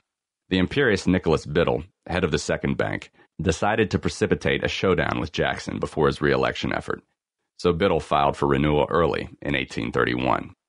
The host of national Republicans and non Jacksonian Democrats proceeded to pass the Recharter bill, but Jackson, in a dramatic message, vetoed the bill, and Congress failed to pass it over his veto. Triumphantly reelected on the bank issue in 1832, President Jackson lost no time in disestablishing the Bank of the United States as a central bank. The critical action came in 1833 when Jackson removed the public treasury deposits from the Bank of the United States and placed them in a number of state banks, soon labeled as, quote, pet banks, throughout the country. The original number of pet banks was seven, but the Jacksonians were not interested in creating a privileged bank oligarchy to replace the previous monopoly, so the number of pet banks had increased to 91 by the end of 1836. In that year, Biddle managed to secure a Pennsylvania charter for his bank, and the new United States Bank of Pennsylvania functioned as a much reduced but still influential state bank for a few years thereafter. Orthodox historians have long maintained that by his reckless act of destroying the Bank of the United States and shifting government funds to the numerous pet banks, Andrew Jackson freed the state banks from the restraints imposed on them by a central bank. Thus, the banks were supposedly allowed to pyramid notes and deposits rashly on top of existing specie and precipitate a wild inflation that was later succeeded by two bank panics and a disastrous deflation. Recent historians, however, have totally reversed this conventional picture. In the first place, the record of bank inflation under the regime of the Bank of the United States was scarcely ideal. From the depths of the post 1819 depression in January 1820 to January 1823, under the regime of the conservative Langdon Cheves, the Bank of the United States increased its notes and deposits at an annual rate of 5.9%. The nation's total money supply remained about the same in that period. Under the far more inflationist regime of Nicholas Biddle, however, the Bank of the United States notes and deposits rose after January 1823 from $12 million to $42.1 million, an annual increase of 27.9%. As a consequence of this base of the banking pyramid inflating so sharply, the total money supply during this period vaulted from $81 million to $155 million, an annual increase of 10.2%. It is clear that the driving force for monetary expansion was the Bank of the United States, which acted as an inflationary rather than a restraining force upon the state banks. Looking at the figures another way, the 1823 data represented a pyramid ratio of money liabilities to specie of 3.86 to 1 on the part of the Bank of the United States and 4 to 1 of the banking system as a whole, or respective reserve ratios of 0.26 and 0.25. By 1832, in contrast, the Bank of the United States reserve ratio had fallen to 0.17 and the country as a whole to 0.15. Both sets of institutions had inflated almost precisely proportionately on top of specie. The fact that wholesale prices remained about the same over this period is no indication that the monetary inflation was not improper and dangerous. As Austrian business cycle theory has pointed out, any bank credit inflation sets up conditions for boom and bust. There is no need for prices actually to rise. The reason that prices did not rise was that the increased production of goods and services sufficed to offset the monetary expansion during this period. But similar conditions of the 1920s precipitated the great crash of 1929, an event that shocked most economists, who had adopted the proto monetarist position of Irving Fisher and other economists of the day that a stable wholesale price level cannot, by definition, be inflationary. In reality, the unhampered free market economy will usually increase the supply of goods and services and thereby bring about a gently falling price level, as happened in most of the 19th century, except during wartime. What then of the consequences of Jackson's removal of the deposits? What of the fact that wholesale prices rose from 84 in April 1834 to 131 in February 1837, a remarkable increase of 52% in a little less than three years? Wasn't that boom due to the abolition of central banking? An excellent reversal of the orthodox explanation of the boom of the 1830s, and indeed of the ensuing panic, has been provided by Professor Temin. First, he points out that the price inflation really began earlier, when wholesale prices reached a trough of 82 in July 1830, and then rose by 20.7% in three years to reach 99 in the fall of 1833.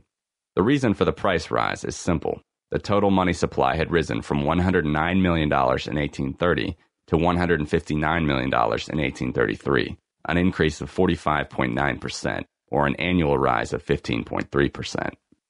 Breaking the figures down further, the total money supply had risen from $109 million in 1830 to $155 million a year and a half later, a spectacular expansion of 35%. Unquestionably, this monetary expansion was spurred by the still flourishing Bank of the United States, which increased its notes and deposits from January 1830 to January 1832 from a total of $29 million to $42.1 million, a rise of 45.2%. Thus, the price and money inflation in the first few years of the 1830s were again sparked by the expansion of the still dominant central bank. But what of the notable inflation after 1833? there is no doubt that the cause of the price inflation was the remarkable monetary inflation during the same period. For the total money supply rose from $150 million at the beginning of 1833 to $267 million at the beginning of 1837, an astonishing rise of 84%, or 21% per annum. But as Temin points out, this monetary inflation was not caused by the liberated state banks expanding to a fare thee well. If it were true that the state banks used their freedom and their new federal government deposits to pyramid wildly on top of specie, then their pyramid ratio would have risen a great deal, or, conversely, their reserve ratio of specie to notes and deposits would have fallen sharply. Yet the bank's reserve ratio was 0.16 at the beginning of 1837. During the intervening years, the reserve ratio was never below this figure. But this means that the state banks did no more pyramiding after the demise of the Bank of the United States as a central bank than they had done before. Conventional historians, believing that the Bank of the United States must have restrained the expansion of state banks, naturally assume that they were hostile to the central bank. But now Gene Wilburn has discovered that the state banks overwhelmingly supported the Bank of the United States. Quote, we have found that Nicholas Biddle was correct when he said state banks in the main are friendly. Specifically, only in Georgia, Connecticut, and New York was there positive evidence of hostility. A majority of state banks in some states of the South, such as North Carolina and Alabama, gave strong support to the bank, as did both the Southwest states of Louisiana and Mississippi. Since Virginia gave some support, we can claim that state banks in the South and Southwest, for the most part, supported the bank. New England, contrary to expectations, showed the banks of Vermont and New Hampshire behind the bank, but support of Massachusetts was both qualitatively and quantitatively weak. The banks of the middle states all supported the second bank, except for those of New York. What then was the cause of the enormous monetary expansion of the 1830s? It was a tremendous and unusual expansion of the stockpile of specie in the nation's banks. The supply of specie in the country had remained virtually constant at about $32 million from the beginning of 1823 until the beginning of 1833. But the proportion of specie to banknotes held by the public as money dropped during this period from 23% to 5%, so that more specie flowed from the public into the banks to fuel the relatively moderate monetary expansion of the 1820s. But starting at the beginning of 1833, the total specie in the country rose swiftly from $31 million to $73 million at the beginning of 1837, for a rise of 141.9%, or 35.5% per annum. Hence, even though increasing distrust of banks led the public to withdraw some specie from them, so that the public now held 13% of its money in specie instead of 5%, the banks were able to increase their notes and deposits at precisely the same rate as the expansion of specie flowing into their coffers. Thus, the Jackson administration is absolved from blame for the 1833 to 1837 inflation. In a sense, the state banks are as well. Certainly, they scarcely acted as if being, quote, freed by the demise of the Bank of the United States. Instead, they simply increased their money issues proportionately with a huge increase of specie. Of course, the basic fractional reserve banking system is scarcely absolved from responsibility, since otherwise the monetary expansion in absolute terms would not have been as great. The enormous increase in specie was the result of two factors. First and foremost, a large influx of silver coin from Mexico, and second, the sharp cut in the usual export of silver to the Orient. The latter was due to the substantial increases in China's purchase of opium instead of silver from abroad.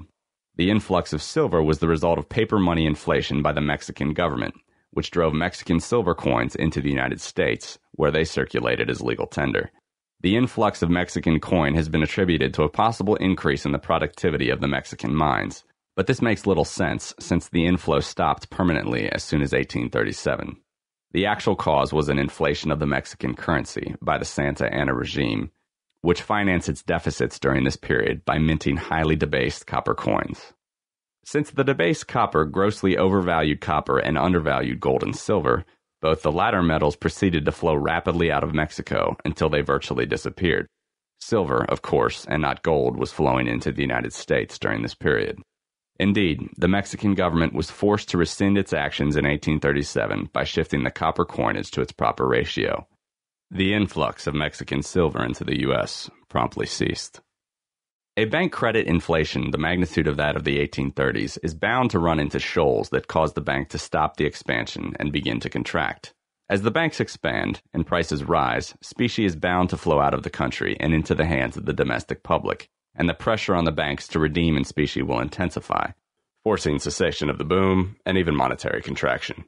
In a sense, the immediate precipitating cause is of minor importance. Even so, the Jackson administration has been unfairly blamed for precipitating the Panic of 1837 by issuing the Specie Circular in 1836. In 1836, the Jackson administration decided to stop the enormous speculation in Western public lands that had been fueled during the past two years by the inflation of bank credit. Hence, Jackson decreed that public land payments would have to be made in specie. This had the healthy effect of stopping public land speculation, but recent studies have shown that the specie circular had very little impact in putting pressure on the banks to pay specie.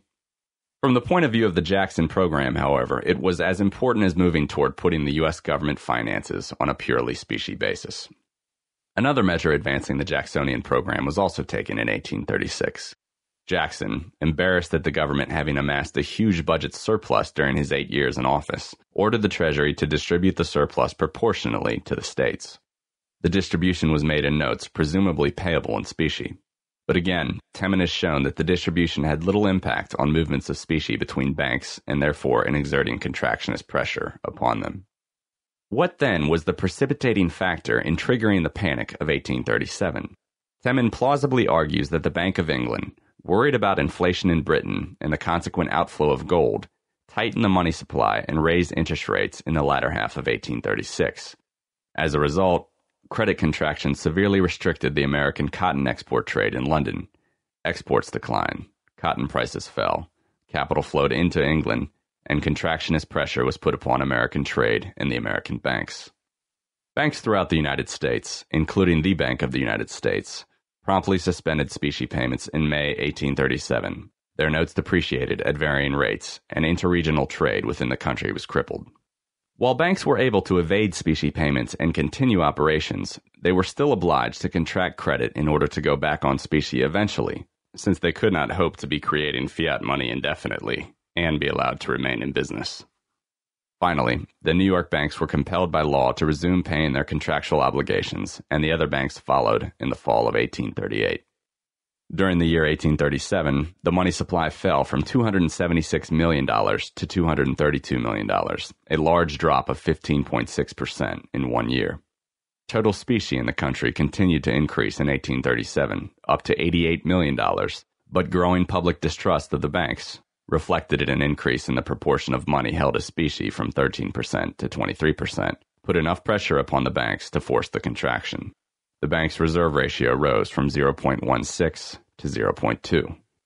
In response to the monetary contraction, wholesale prices fell precipitately by over 30% in seven months, declining from 131 in February 1837 to 98 in September of that year. In 1838, the economy revived. Britain resumed easy credit that year, cotton prices rose, and a short lived boomlet began. Public confidence in the banks unwisely returned as they resumed specie payment, and as a result, the money supply rose slightly during the year, and prices rose by 25%, increasing from 98 in September 1837 to 125 in February 1839. Leading the boom of 1838 were state governments, who, finding themselves with the unexpected windfall of a distributed surplus from the federal government, proceeded to spend the money wildly and borrow even more extravagantly on public works and other uneconomic reforms of, quote, investment. But the state governments engaged in rashly optimistic plans that their public works would be financed heavily from Britain and other countries, and the cotton boom on which these hopes depended collapsed again in 1839. The states had to abandon their projects en masse. Cotton prices declined, and severe contractionist pressure was put on trade.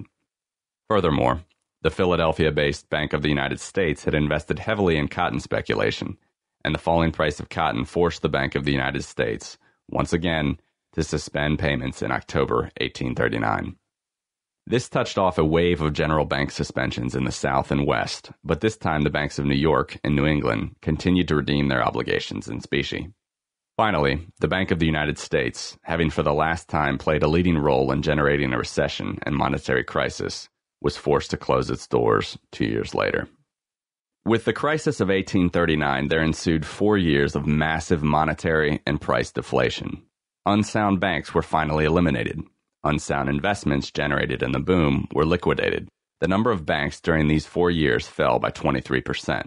The money supply fell from $240 million at the beginning of 1839 to $158 million in 1843, a seemingly cataclysmic drop of 34%, or 8.5% per annum. Prices fell even further, from 125 in February 1839 to 67 in March 1843, a tremendous drop of 42%, or 10.5% per year. During the boom, as we have indicated, state governments went heavily into debt, issuing bonds to pay for wasteful public works.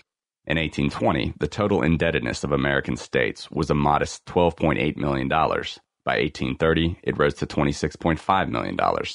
But then it started to escalate, reaching $66.5 million in 1835 and skyrocketing to $170 million in 1839. The collapse of money, credit banking, and prices after 1839 brought these state debts into jeopardy. At this point, the Whigs, taking a leaf from their forebears, the Federalists, agitated for the federal government to bail out the states and assume their debts. After the crisis of 1839 arrived, some of the southern and western states were clearly in danger of default, their plight made worse by the fact that the bulk of the debt was held by British and Dutch capitalists, and that specie would have to be sent abroad to meet the heavy interest payments. The Whigs pressed further for federal assumption of the debt, with the federal government to issue $200 million worth of bonds in payment. Furthermore, British bankers put severe pressure on the United States to assume the state debts if it expected to float further loans abroad. The American people, however, spurned federal aid, including even the citizens of the states in difficulty, and the advent of the Polk administration ended any prospects for federal assumption. The British noted in wonder that the average American was far more concerned about his personal debts to other individuals and banks than about the debts of his state. In fact, the people were quite willing to have the states repudiate their debts outright. Demonstrating an astute perception of the reckless course the states had taken, the typical American response to the problem, quote, suppose foreign capitalists did not lend any more to the states, quote, was the sharp retort, quote, well, who cares if they don't? We are now, as a community, heels over head in debt and can scarcely pay the interest. End quote. The implication was that the disappearance of foreign credit to the states would have the healthy effect of cutting off their wasteful spending, as well as avoiding the imposition of a crippling tax burden to pay for the interest and principal. There was in this response an awareness by the public that they and their government were separate and sometimes even hostile entities rather than one in the same organism. By 1847, four western and southern states, Mississippi, Arkansas, Michigan, and Florida, had repudiated all or part of their debts. Six other states, Maryland, Illinois, Indiana, Louisiana, Arkansas, and Pennsylvania, had defaulted from three to six years before resuming payment. It is evident, then, that the 1839 to 1843 contraction was healthful for the economy in liquidating unsound investments, debts, and banks including the pernicious Bank of the United States. But didn't the massive deflation have catastrophic effects on production, trade, and employment, as we have been led to believe? In a fascinating analysis and comparison with the deflation of 1929 to 1933, a century later, Professor Temin shows that the percentage of deflation over the comparable four years, 1839 to 1843 and 1929 to 1933, was almost the same. Yet the effects on real production of the two deflations were very different. Whereas in 1929 to 1933, real gross investment fell catastrophically by 91%, real consumption by 19%, and real GNP by 30%. In 1839 to 1843, investment fell by 23%, but real consumption increased by 21% and real GNP by 16%. The interesting problem is to account for the enormous fall in production and consumption in the 1930s as contrasted to the rise in production and consumption in the 1840s. It seems that only the initial months of the contraction worked a hardship on the American public, and that most of the earlier deflation was a period of economic growth. Temin properly suggests that the reason can be found in the downward flexibility of prices in the 19th century so that the massive monetary contraction would lower prices but not particularly cripple the world of real production or standards of living. In contrast, in the 1930s, government placed massive roadblocks on the downward fall of prices and wage rates and hence brought about severe and continuing depression of production and living standards. The Jacksonians had no intention of leaving a permanent system of pet banks, and so after the retirement of Jackson, his successor, Martin Van Buren, fought to establish the independent treasury system, in which the federal government conferred no special privilege or inflationary prop on any bank. Instead of a central bank or pet banks, the government was to keep its funds purely in specie in its own treasury vaults or its quote sub treasury branches and simply take in and spend funds from there. Van Buren finally managed to establish the independent treasury system, which would last until the Civil War. At long last, the Jacksonians had achieved their dream of severing the federal government totally from the banking system and placing its finances on a purely hard money, specie basis. The Jacksonians and the coinage legislation of 1834. We have seen that the Coinage Act of 1792 established a bimetallic system in which the dollar was defined as equaling both 371.25 grains of pure silver and 24.75 grains of pure gold, a fixed weight ratio of 15 grains of silver to 1 grain of gold. But bimetallism foundered on Gresham's law. After 1805, the world market value of silver fell to approximately 15.75 to 1, so that the U.S. fixed mint ratio greatly undervalued gold and overvalued silver. As a result, gold flowed out of the country and silver flowed in, so that after 1810, only silver coin, largely overvalued Spanish American fractional silver coin, circulated within the United States. The rest of the currency was inflated bank paper in various stages of depreciation. The Jacksonians, as we have seen, were determined to eliminate inflationary paper money and substitute a hard money consisting of specie, or, at the most, of paper 100% backed by gold or silver. On the federal level, this meant abolishing the Bank of the United States and establishing the independent Treasury. The rest of the fight would have to be conducted during the 1840s and later at the state level where the banks were chartered. But one thing the federal government could do was readjust the specie coinage. In particular, the Jacksonians were anxious to eliminate small denomination banknotes, $20 and under, and substitute gold and silver coins for them. They reasoned that the average American largely used these coins, and they were the ones bilked by inflationary paper money.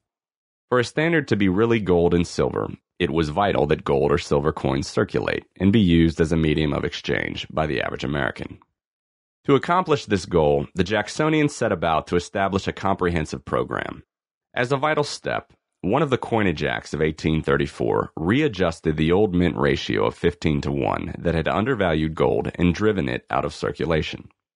The Coinage Act devalued the definition of the gold dollar from the original 24.75 grains to 23.2 grains, a debasement of gold by 6.26%.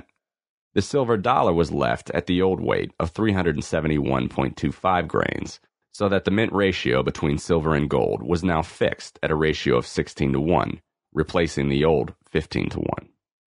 It was unfortunate that the Jacksonians did not appreciate silver to 396 grains instead of debasing gold, for this set a precedent for debasement that was to plague America in 1933 and after. The new ratio of 16 to 1, however, now undervalued silver and overvalued gold, since the world market ratio had been approximately 15.79 to 1 in the years before 1834.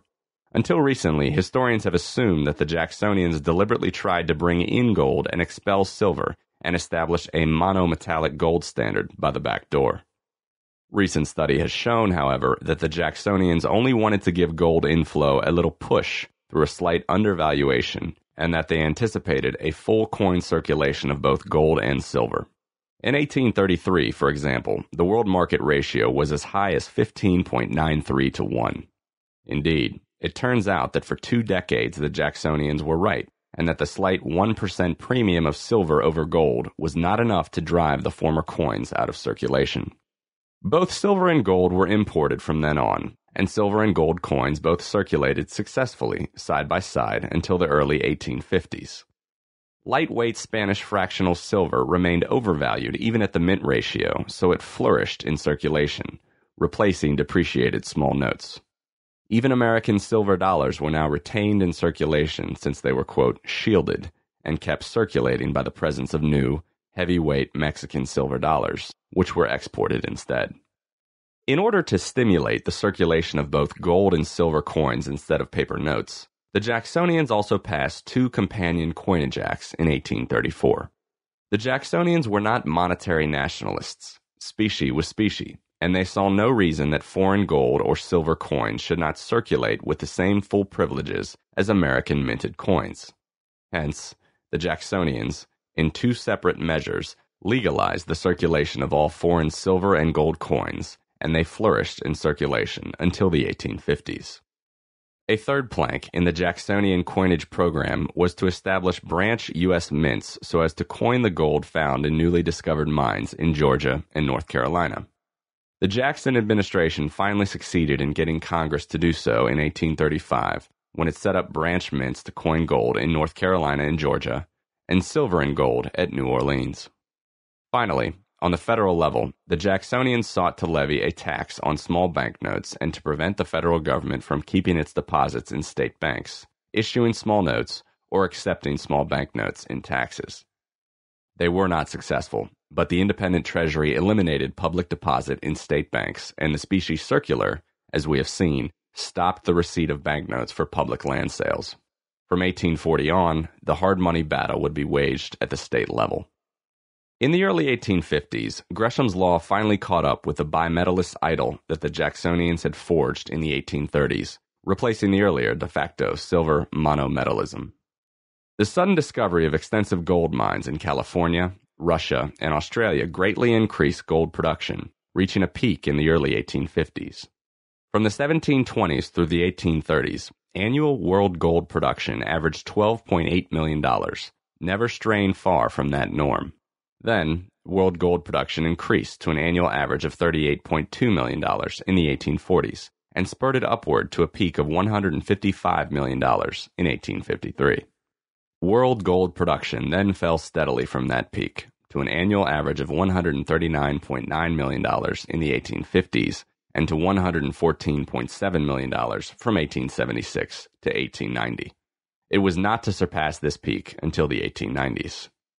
The consequence of the burst in gold production was, of course, a fall in the price of gold relative to silver in the world market. The silver gold ratio declined from 15.97 in January 1849 to an average of 15.7 in 1850 to 15.46 in 1851 and to an average of 15.32 to 1 in the eight years from 1853 to 1860.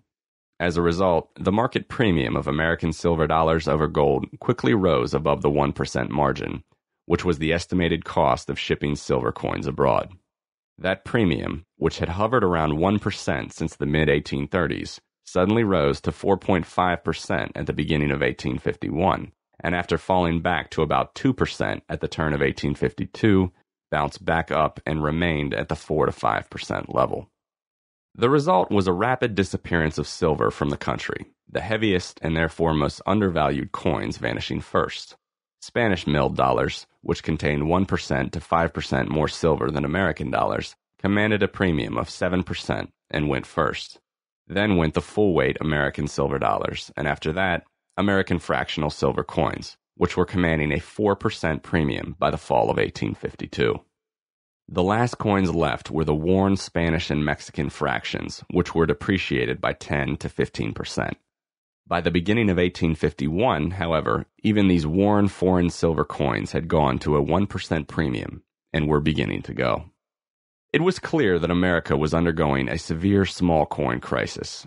Gold coins were flowing into the country, but they were too valuable to be technically usable for small denomination coins. The Democratic Pierce administration saw with horror millions of dollars of unauthorized private small notes flood into circulation in early 1853 for the first time since the 1830s. The Jacksonians were in grave danger of losing the fight for hard money coinage, at least for the smaller and medium denominations. Something had to be done quickly. The ultimate breakdown of bimetallism had never been clearer. If bimetallism is not in the long run viable, this leaves two free market hard money alternatives. A. Silver monometallism with the dollar defined as a weight of silver only, and gold circulating freely by weight at freely fluctuating market rates. Or B, gold monometallism, with the dollar defined only as a weight of gold, with silver circulating by weight. Each of these is an example of what has been called, quote, parallel standards, or, quote, free metalism, in which two or more metal coins are allowed to fluctuate freely within the same area and exchange at free market prices. As we have seen, colonial America was an example of such parallel standards, since foreign gold and silver coins circulated freely and at fluctuating market prices. The United States could have taken this opportunity of monetary crisis to go on either version of a parallel standard. Apparently, however, few thought of doing so. Another viable, though inferior, solution to the problem of bimetallism was to establish a monometallic system, either de facto or de jure, with the other metal circulating in the form of lightweight and therefore overvalued or quote, token coinage. Silver monometallism was immediately unfeasible since it was rapidly flowing out of the country, and because gold, being far more valuable than silver, could not technically function easily as a lightweight subsidiary coin. The only feasible solution, then, within a monometallic framework, was to make gold the basic standard and let highly overvalued, essentially token, silver coins function as subsidiary small coinage. Certainly, if a parallel standard was not to be adopted, the latter solution would be far better than allowing depreciated paper notes to function as small currency. Under pressure of the crisis, Congress decided in February 1853 to keep the de jure bimetallic standard, but to adopt a de facto gold monometallic standard, with fractional silver coins circulating as a deliberately overvalued subsidiary coinage, legal tender up to a maximum of only $5. The fractional silver coins were debased by 6.91%, with silver commanding about 4% market premium over gold. This meant that fractional silver was debased 3% below gold. At that depreciated rate, fractional silver was not overvalued in relation to gold and remained in circulation. By April, the new subsidiary quarter dollars proved to be popular, and by early 1854, the problem of the shortage of small coins in America was over. In rejecting proposals either to go over completely to de jure gold monometallism or to keep the existing bimetallic system, Congress was choosing a gold standard temporarily, but keeping its options open. The fact that it continued the old full bodied silver dollar, the quote, dollar of our fathers, demonstrates that an eventual return to de facto bimetallism was by no means being ruled out, albeit Gresham's law could not then maintain the American silver dollar in circulation. In 1857, an important part of the Jacksonian coinage program was repealed, as Congress, in an exercise of monetary nationalism, eliminated all legal tender power of foreign coins. Decentralized banking from the 1830s to the Civil War. After the central bank was eliminated in the 1830s, the battle for hard money largely shifted to the state governmental arena. During the 1830s, the major thrust was to prohibit the issue of small notes, which was accomplished for notes under $5 in 10 states by 1832, and subsequently, five others restricted or prohibited such notes.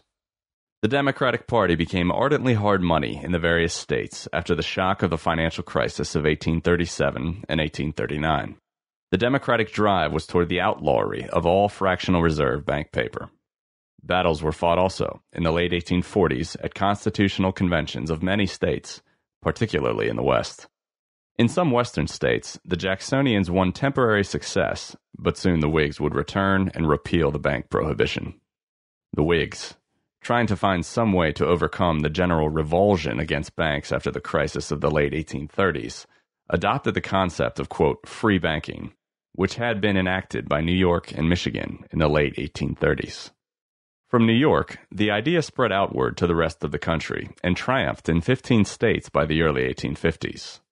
On the eve of the Civil War, 18 out of 33 states in the Union had adopted, quote, free banking laws. It must be realized that, quote, free banking, as it came to be known in the United States before the Civil War, was unrelated to the philosophic concept of free banking analyzed by economists. As we have seen earlier, genuine free banking is a system where entry into banking is totally free. The banks are neither subsidized nor regulated, and at the first sign of failure to redeem in specie payments, a bank is forced to declare insolvency and close its doors. Quote, free banking before the Civil War, on the other hand, was very different. As we have pointed out, the government allowed periodic general suspensions of specie payments whenever the banks overexpanded and got into trouble. The latest episode was in the Panic of 1857. It is true that bank incorporation was now more liberal, since any bank that met the legal regulations could become incorporated automatically without lobbying for special legislative charters, as had been the case before.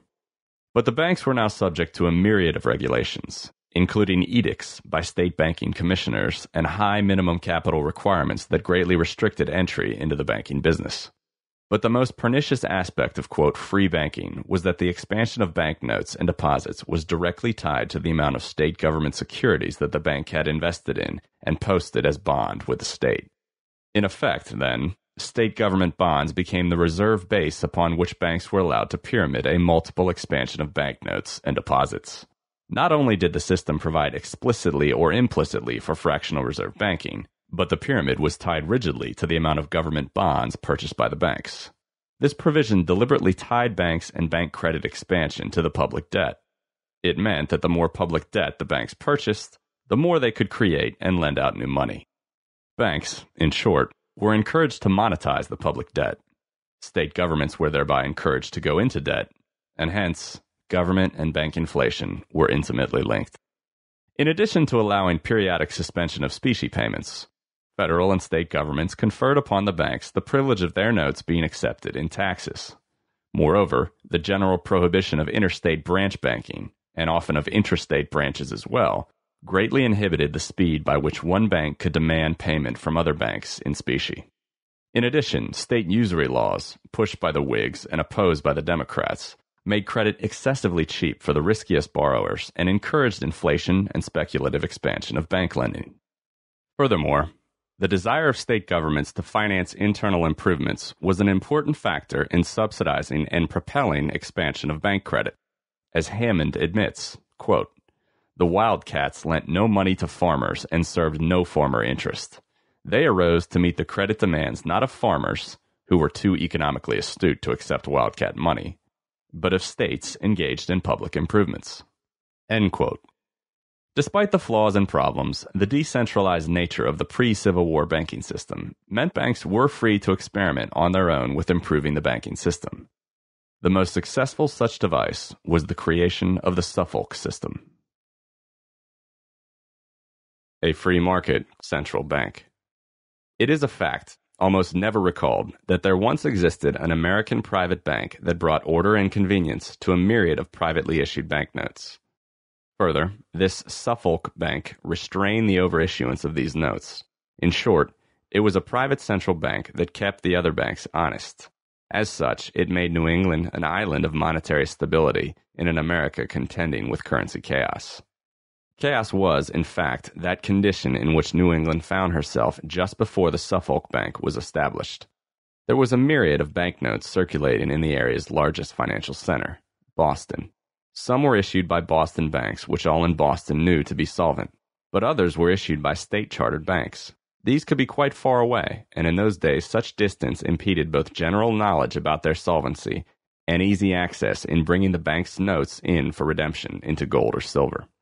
Thus, while at the beginning these country notes were accepted in Boston at par value, this just encouraged some faraway banks to issue far more notes than they had gold to back them so country banknotes began to be generally traded at discounts to par of from 1% to 5%. City banks finally refused to accept country banknotes altogether. This gave rise to the money brokers mentioned earlier in this chapter. But it also caused hardship for Boston merchants, who had to accept country notes whose real value they could not be certain of. When they exchanged the notes with the brokers, they ended up assuming the full cost of discounting the bills they had accepted at par. A false start. Matters began to change in 1814. The New England Bank of Boston announced it too would go into the money broker business, accepting country notes from holders and turning them over to the issuing bank for redemption. The note holders, though, still had to pay the cost. In 1818, a group of prominent merchants formed the Suffolk Bank to do the same thing. This enlarged competition brought the basic rate of country note discount down from 3% in 1814 to 1% in 1818, and finally to a bare one half of 1% in 1820. But this did not necessarily mean that country banks were behaving more responsibly in their note creation. By the end of 1820, the business had become clearly unprofitable, and both banks stopped competing with the private money brokers. The Suffolk became just another Boston bank. Operation begins. During the next several years, city banks found their notes representing an ever smaller part of the total New England money supply. Country banks were simply issuing far more notes in proportion to their capital, that is, gold and silver, than were the Boston banks. Concerned about this influx of paper money of lesser worth, both Suffolk Bank and New England Bank began again in 1824 to purchase country notes. But this time they did so not to make a profit on redemption, but simply to reduce the number of country notes in circulation in Boston. They had the foolish hope that this would increase the use of their better notes, thus increasing their own loans and profits. But the more they purchased country notes, the more notes of even worse quality, particularly from faraway Maine banks, would replace them. Buying these latter involved more risk, so the Suffolk proposed to six other city banks a joint fund to purchase and send these notes back to the issuing bank for redemption. These seven banks, known as the Associated Banks, raised $300,000 for this purpose.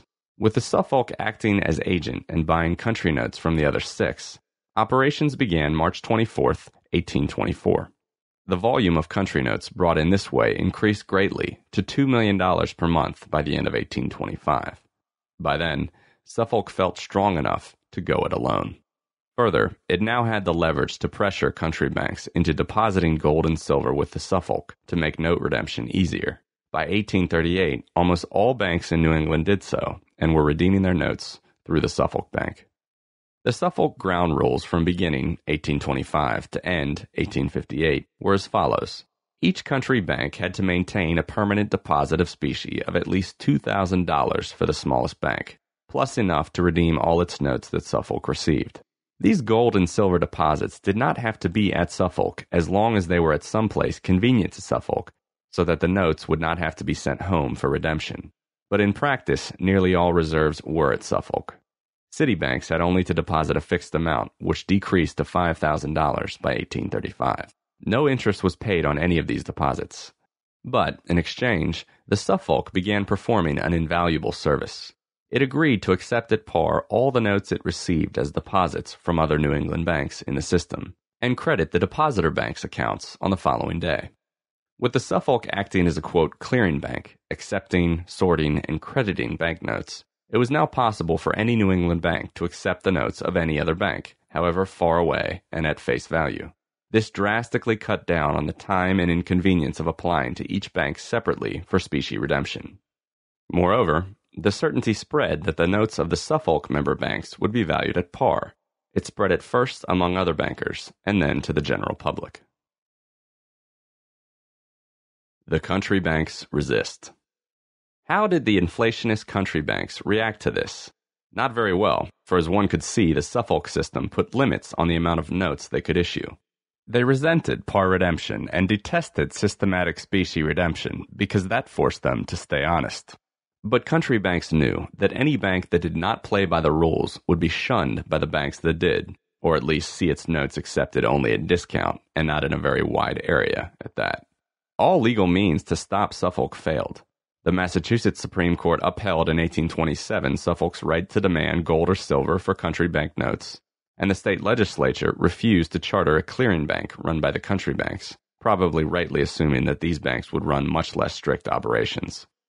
Stung by these setbacks, the country banks played by the rules, bided their time, and awaited their revenge.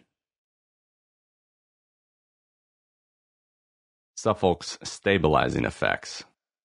Even though Suffolk's initial objective had been to increase the circulation of city banks, this did not happen. In fact, by having their notes redeemed at par, country banks gained a new respectability. This came, naturally, at the expense of the number of notes issued by the worst former inflationists. But at least in Massachusetts, the percentage of city bank notes in circulation fell from 48.5% in 1826 to 35.8% in 1833. The biggest, most powerful weapon Suffolk had to keep stability was the power to grant membership into the system. It accepted only banks whose notes were sound. While Suffolk could not prevent a bad bank from inflating, denying it membership ensured that the notes would not enjoy wide circulation. And the member banks that were mismanaged could be stricken from the list of Suffolk approved New England banks in good standing. This caused an offending bank's notes to trade at a discount at once, even though the bank itself might be still redeeming its notes in specie. In another way, the Suffolk exercised a stabilizing influence on the New England economy. It controlled the use of overdrafts in the system. When a member bank needed money, it could apply for an overdraft, that is, a portion of excess reserves in the banking system. If Suffolk decided that a member bank's loan policy was not conservative enough, it could refuse to sanction the bank's application to borrow reserves at Suffolk. The denial of overdrafts to profligate banks thus forced those banks to keep their assets more liquid. Few government central banks today have succeeded in that. This is all the more remarkable when one considers that Suffolk, or any central bank, could have earned extra interest income by issuing overdrafts irresponsibly. But Dr. George Trivoli, whose excellent monograph, The Suffolk Bank, we rely on in this study, states that by providing stability to the New England banking system, quote, it should not be inferred that the Suffolk Bank was operating purely as public benefactor. Suffolk, in fact, made handsome profits. At its peak in 1858, the last year of existence, it was redeeming $400 million in notes, with a total annual salary cost of only $40,000. The healthy profits were derived primarily from loaning out those reserve deposits, which Suffolk itself, remember, did not pay interest on. Not surprisingly, Suffolk stock was the highest priced bank stock in Boston, and by 1850, regular dividends were 10%. The Suffolk Difference That the Suffolk system was able to provide note redemption much more cheaply than the U.S. government was stated by a U.S. comptroller of the currency. John J. Knox compared the two systems from a vantage point of half a century. Quote, in 1857, the redemption of notes by the Suffolk Bank was almost $400 million, as against $137,697,696 in 1875 the highest amount ever reported under the national banking system. The redemptions in 1898 were only $66,683,476 at a cost of $1.29 per thousand. The cost of redemption under the Suffolk system was 10 cents per $1,000, which does not appear to include transportation. If this item is deducted from the cost of redeeming national banknotes, it would reduce it to about 94 cents. This difference is accounted for by the relatively small amount of redemptions by the Treasury and the increased expense incident to the necessity of official checks by the government and by the higher salaries paid. But allowing for these differences, the fact is established that private enterprise could be entrusted with the work of redeeming the circulating notes of the banks, and it could thus be done as safely and much more economically than the same service can be performed by the government. The volume of redemptions was much larger under Suffolk than under the national banking system. During Suffolk's existence, 1825 to 1857, they averaged $229 million per year. The average of the national system from its start in 1863 to about 1898 is put by Mr. Knox at only $54 million. Further, at its peak in 1858, $400 million was redeemed. But the New England money supply was only $40 million. This meant that, astoundingly, the average note was redeemed 10 times per year, or once every five weeks. Bank capital, note circulation, and deposits, considered together as, banking power, grew in New England on a per capita basis much faster than in any other region of the country from 1803 to 1850. And there is some evidence that New England banks were not as susceptible to disaster during the several banking panics during that time. In the Panic of 1837, not one Connecticut bank failed, nor did any suspend specie payments. All remained in the Suffolk system. And when in 1857 specie payment was suspended in Maine, all but three banks remained in business. As the Bank Commission of Maine stated, quote, the Suffolk system, though not recognized in banking law, has proved to be a great safeguard to the public. Whatever objections may exist to the system in theory, its practical operation is to keep the circulation of our banks within the bounds of safety. The Suffolk's demise. The extraordinary profits and power that the Suffolk had by 1858 attained spawned competitors. The only one to become established was the Bank for Mutual Redemption in 1858. This bank was partially a response to the somewhat arrogant behavior of the Suffolk by this time, after 35 years of unprecedented success. But further, and more important, the balance of power in the state legislature had shifted outside of Boston to the country bank areas. The politicians were more amenable to the desires of the overexpanding country banks. Still, it must be said that Suffolk acted toward the Bank of Mutual Redemption with spite where conciliation would have helped. Trying to force Mutual Redemption out of business, Suffolk, starting October 8, 1858, refused to honor notes of banks having deposits in the newcomer. Further, Suffolk in effect threatened any bank withdrawing deposits from it. But country banks rallied to the newcomer, and on October 16th, Suffolk announced that it would stop clearing any country banknotes, thus becoming just another bank. Only the Bank for Mutual Redemption was left, and though it soon had half the New England banks as members, it was much more lax toward overissuance by country banks. Perhaps the Suffolk would have returned amid dissatisfaction with its successor, but in 1861, just over two years after Suffolk stopped clearing, the Civil War began and all specie payments were stopped. As a final nail in the coffin, the National Banking System Act of 1863 forbade the issuance of any state banknotes, giving a monopoly to the government that has continued ever since. While it lasted, though, the Suffolk banking system showed that it is possible in a free market system to have private banks competing to establish themselves as efficient, safe, and inexpensive clearinghouses limiting overissue of paper money. The Civil War The Civil War exerted an even more fateful impact on the American monetary and banking system than had the War of 1812.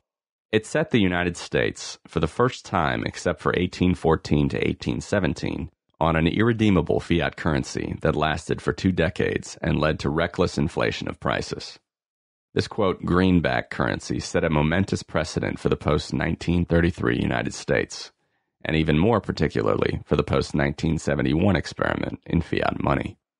Perhaps an even more important consequence of the Civil War was the permanent change wrought in the American banking system. The federal government in effect outlawed the issue of state banknotes and created a new, quasi centralized fractional reserve national banking system which paved the way for the return of outright central banking in the Federal Reserve System. The Civil War, in short, ended the separation of the federal government from banking and brought the two institutions together in an increasingly close and permanent symbiosis. In that way, the Republican Party, which inherited the Whig admiration for paper money and governmental control and sponsorship of inflationary banking, was able to implant the soft money tradition permanently in the American system. Greenbacks. The Civil War led to an enormous ballooning of federal expenditures, which skyrocketed from $66 million in 1861 to $1.3 billion four years later. To pay for these swollen expenditures, the Treasury initially attempted, in the fall of 1861, to float a massive $150 million bond issue to be purchased by the nation's leading banks. However, Secretary of the Treasury Salmon P. Chase, a former Jacksonian, tried to require the banks to pay for the loan in specie that they did not have. This massive pressure on their specie, as well as an increased public demand for specie due to a well deserved lack of confidence in the banks, brought about a general suspension of specie payments a few months later, at the end of December 1861. This suspension was followed swiftly by the Treasury itself, which suspended specie payments on its Treasury notes. The U.S. government quickly took advantage of being on an inconvertible fiat standard. In the Legal Tender Act of February 1862, Congress authorized the printing of $150 million in new, quote, United States notes, soon to be known as, quote, greenbacks, to pay for the growing war deficits.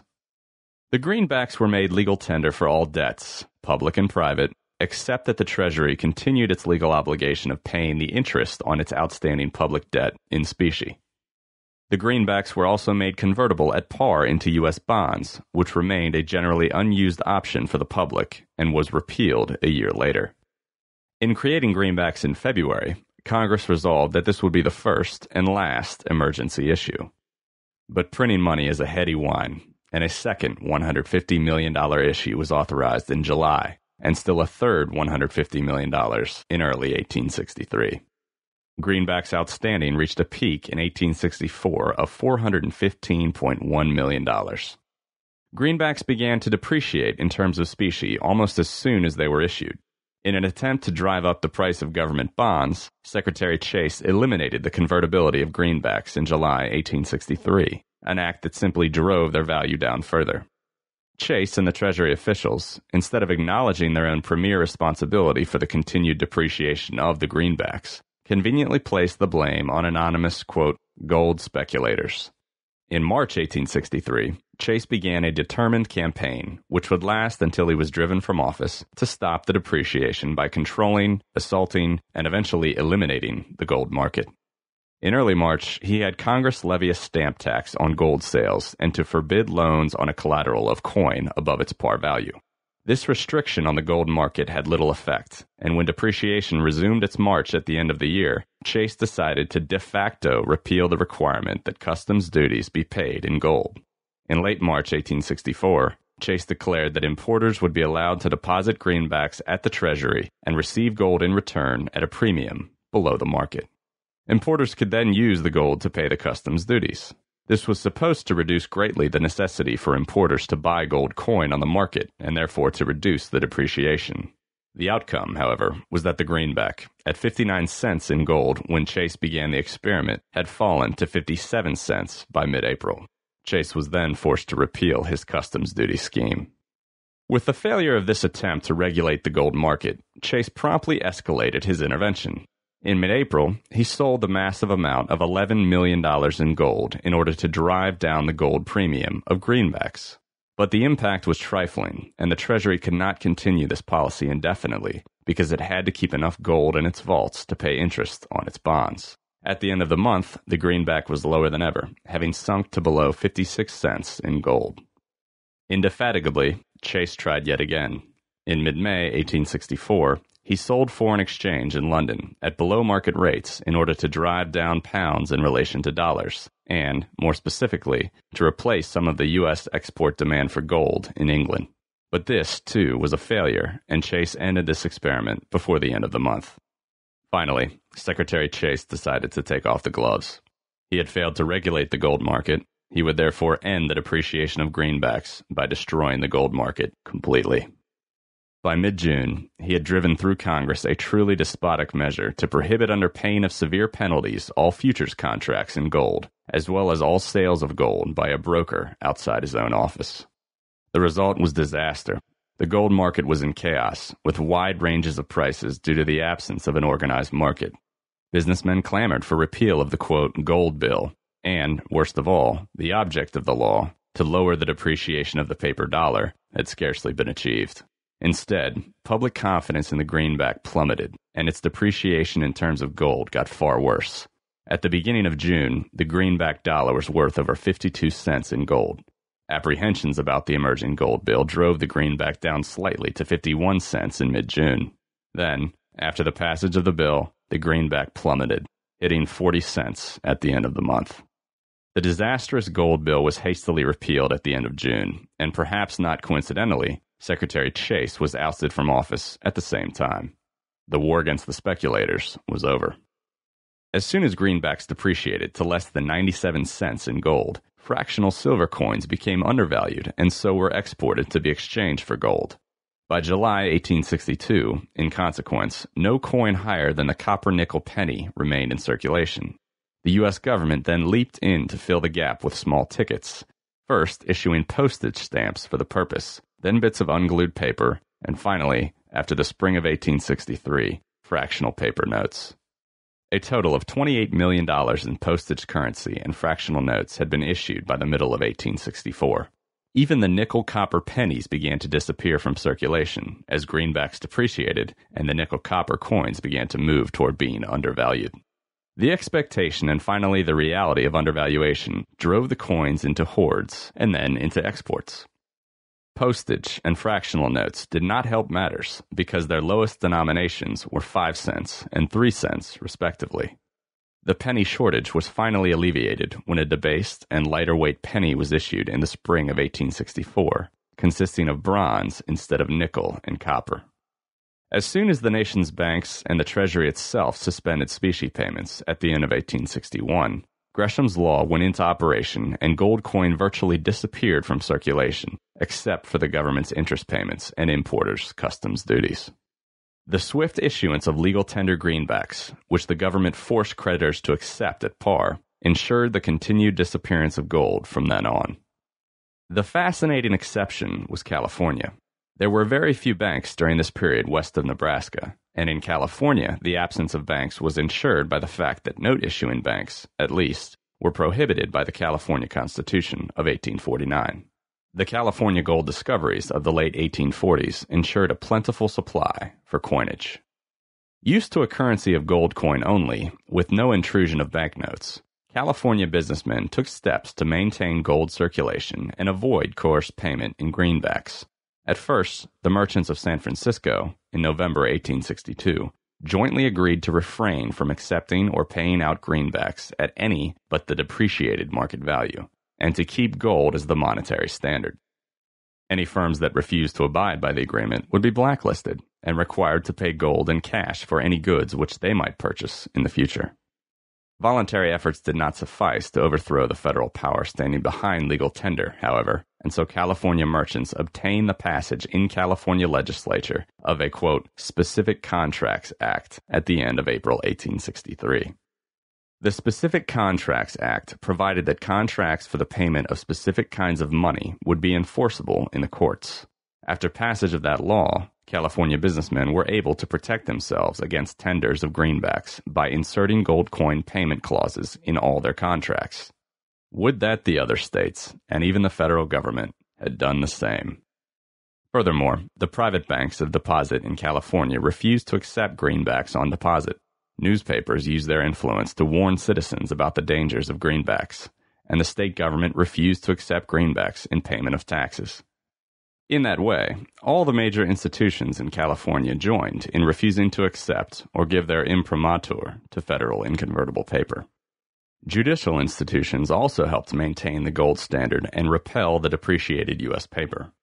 Not only did the California courts uphold the constitutionality of the Specific Contracts Act, but the California Supreme Court ruled in 1862 that greenbacks could not be accepted in state or county taxes since the state constitution prohibited any acceptance of paper money for taxes. The state of Oregon was quick to follow California's lead. Oregon's constitution had also outlawed banks of issue, and gold had for years been the exclusive currency. Two weeks after the agreement of the San Francisco merchants, the merchants of Salem, Oregon, unanimously backed gold as the monetary standard and refused to accept greenbacks at par. Two months later, the leading merchants of Portland agreed to accept greenbacks only at rates current in San Francisco. The merchants in the rest of the state were quick to follow suit. The Portland merchants issued a circular warning of a blacklist of all customers who insisted on settling their debts in greenbacks, and they would be quickly boycotted, and dealings with them would only be in cash. Oregon deposit banks also refused to accept greenbacks, and the Oregon legislature followed California a year and a half later in passing a specific performance law. Oregon, too, refused to accept greenbacks and taxes and strengthened the law in 1864 by requiring that, quote, all taxes levied by state, counties, or municipal corporations therein shall be collected and paid in gold and silver coin of the United States, and not otherwise. In the same year, the Oregon Supreme Court followed California in ruling that greenbacks could not constitutionally be received in payment of taxes. The banking story during the Civil War is greatly complicated by the advent of the national banking system in the latter part of the war, but it is clear that the state banks, being able to suspend specie and to pyramid money and credit on top of the federal greenbacks, profited greatly by being able to expand during this period.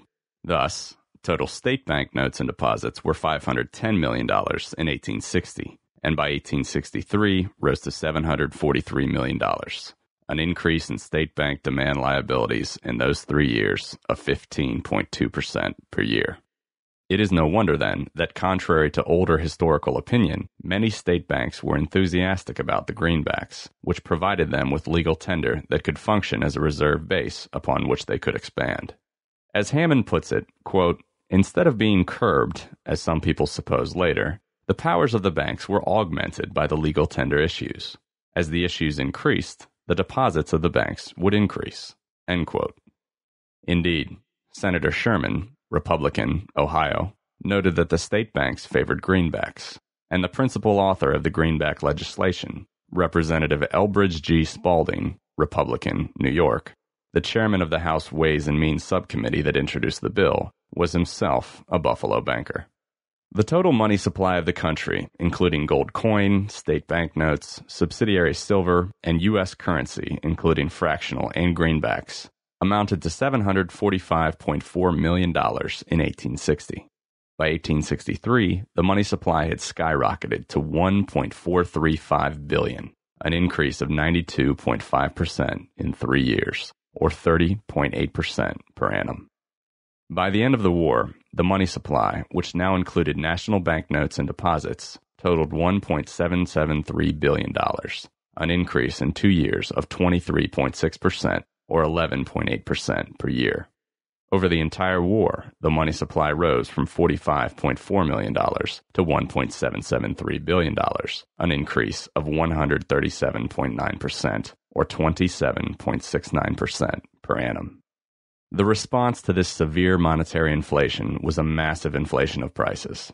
It is no wonder that the greenbacks, depreciating rapidly in terms of gold, depreciated in terms of goods as well. Wholesale prices rose from 100 in 1860 to 210.9 at the end of the war, a rise of 110.9%, or 22.2% per year. The Republican administration argued that its issue of greenbacks was required by stern wartime, quote, necessity. The spuriousness of this argument is seen by the fact that greenbacks were virtually not issued after the middle of 1863. There were three alternatives to the issue of legal tender fiat money. 1. The government could have issued paper money, but not made it legal tender. It would have depreciated even more rapidly. At any rate, they would have had quasi legal tender status by being receivable in federal dues and taxes. 2. It could have increased taxes to pay for the war expenditures. 3. It could have issued bonds and other securities and sold the debt to banks and non bank institutions. In fact, the government employed both the latter alternatives and after 1863 stopped issuing greenbacks and relied on them exclusively, especially a rise in the public debt. The accumulated deficit piled up during the war was $2.614 billion, of which the printing of greenbacks only financed $431.7 million. Of the federal deficits during the war, greenbacks financed 22.8% in fiscal 1862, 48.5% in 1863, 6.3% in 1864, and none in 1865. This is particularly striking if we consider that the peak deficit came in 1865, totaling $963.8 million. All the rest was financed by increased debt. Taxes also increased greatly, revenues rising from $52 million in 1862 to $333.7 million in 1865. Tax revenues as a percentage of the budget rose from a minuscule 10.7% in fiscal 1862 to over 26% in 1864 and 1865. It is clear, then, that the argument of, quote, necessity in the printing of greenbacks was specious, and indeed the greenback advocates conceded that it was perfectly possible to issue public debt, provided that the administration was willing to see the prices of its bonds rise and its interest payments rise considerably. At least for most of the war, they were not willing to take their chances in the competitive bond market. The public debt and the national banking system. The public debt of the Civil War brought into American financial history the important advent of one Jay Cooke. The Ohio born Cooke had joined the moderately successful Philadelphia investment banking firm of Clark and Dodge as a clerk at the age of 18. In a few years, Cooke worked himself up to the status of junior partner, and in 1857, he left the firm to branch out on his own in canal and railroad promotion and other business ventures. There he doubtless would have remained, except for the lucky fact that he and his brother Henry, editor of the leading Republican newspaper in Ohio, the Ohio State Journal, were close friends of U.S. Senator Salmon P. Chase. Chase, a veteran leader of the anti slavery movement, fought for and lost the Republican presidential nomination in 1860 to Abraham Lincoln. At that point, the Cookes determined to feather their nest by lobbying to make Salmon Chase Secretary of the Treasury. After heavy lobbying by the Cookes, the Chase appointment was secured, so Jay Cooke quickly set up his own investment banking house of Jay Cooke and Company. Everything was in place. It now remained to seize the opportunity.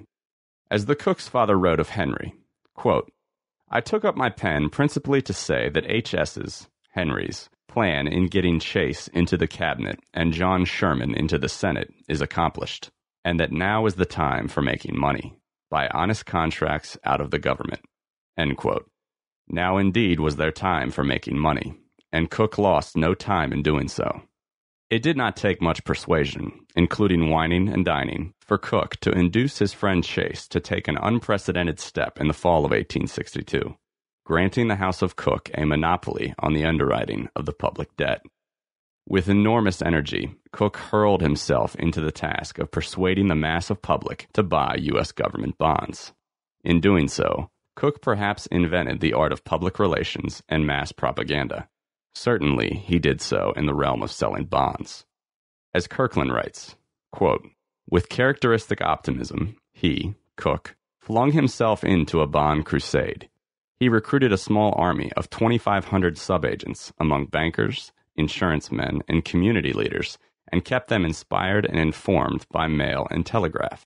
He taught the American people to buy bonds using lavish advertising in newspapers, broadsides, and posters. God, destiny, duty, courage, patriotism all summoned farmers, mechanics, and capitalists to invest in loans.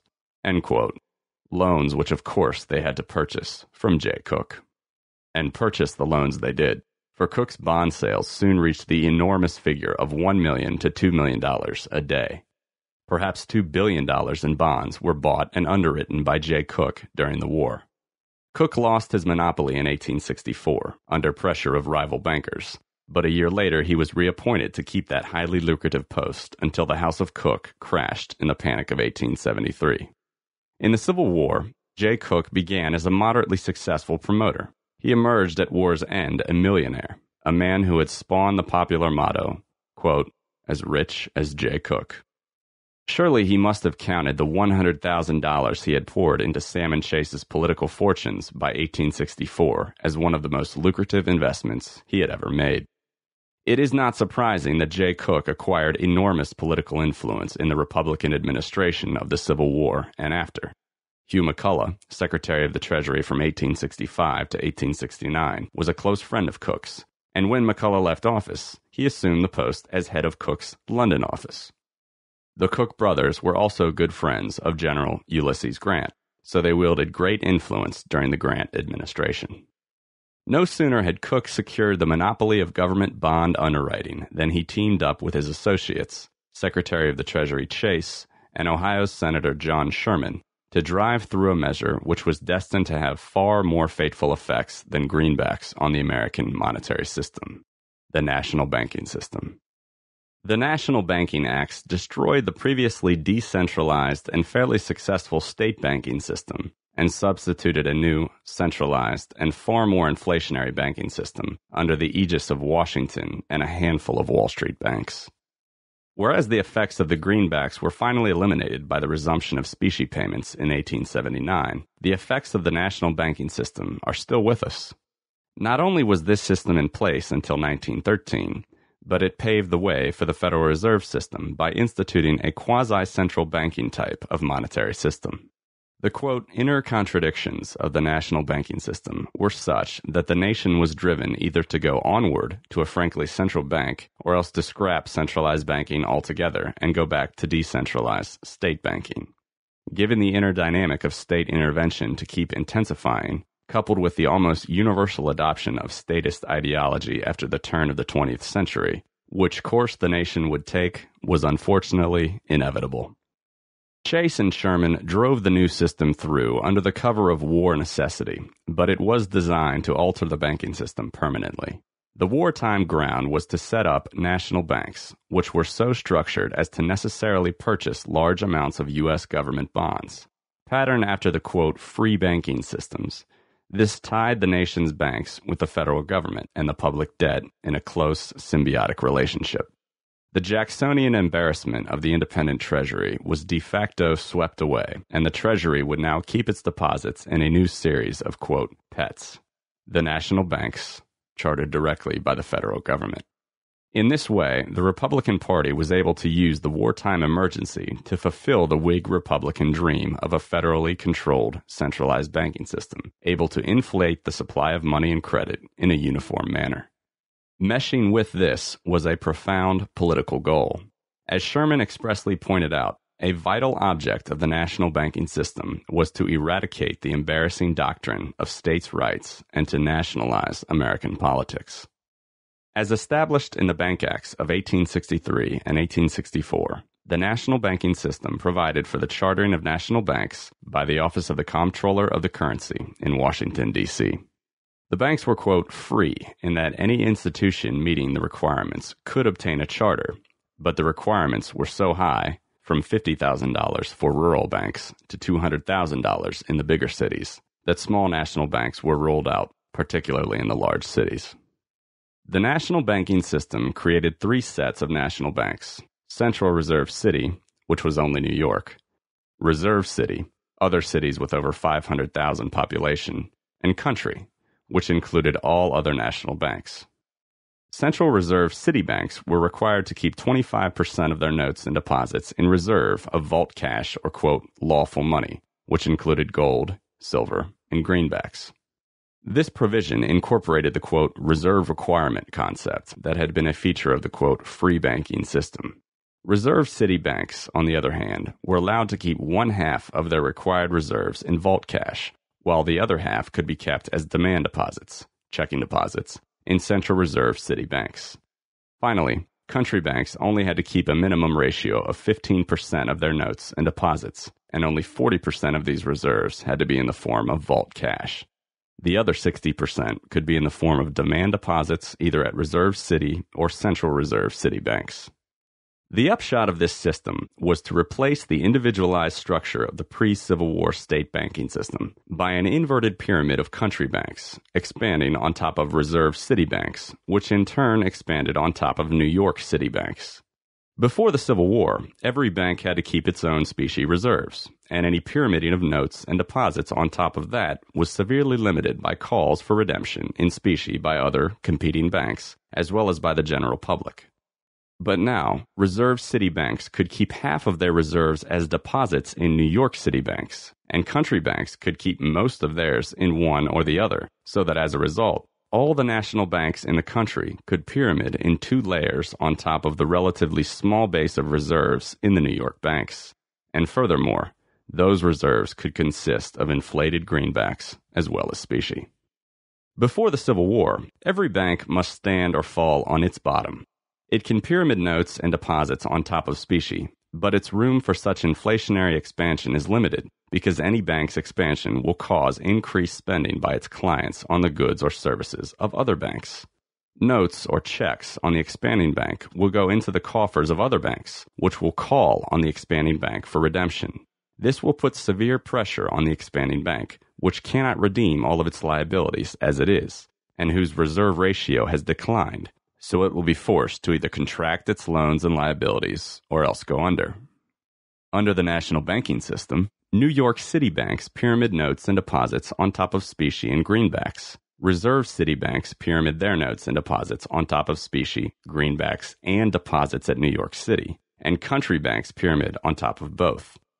This means that, for example, if New York City banks inflate and expand their notes and deposits, they will not be checked by other banks calling upon them for redemption.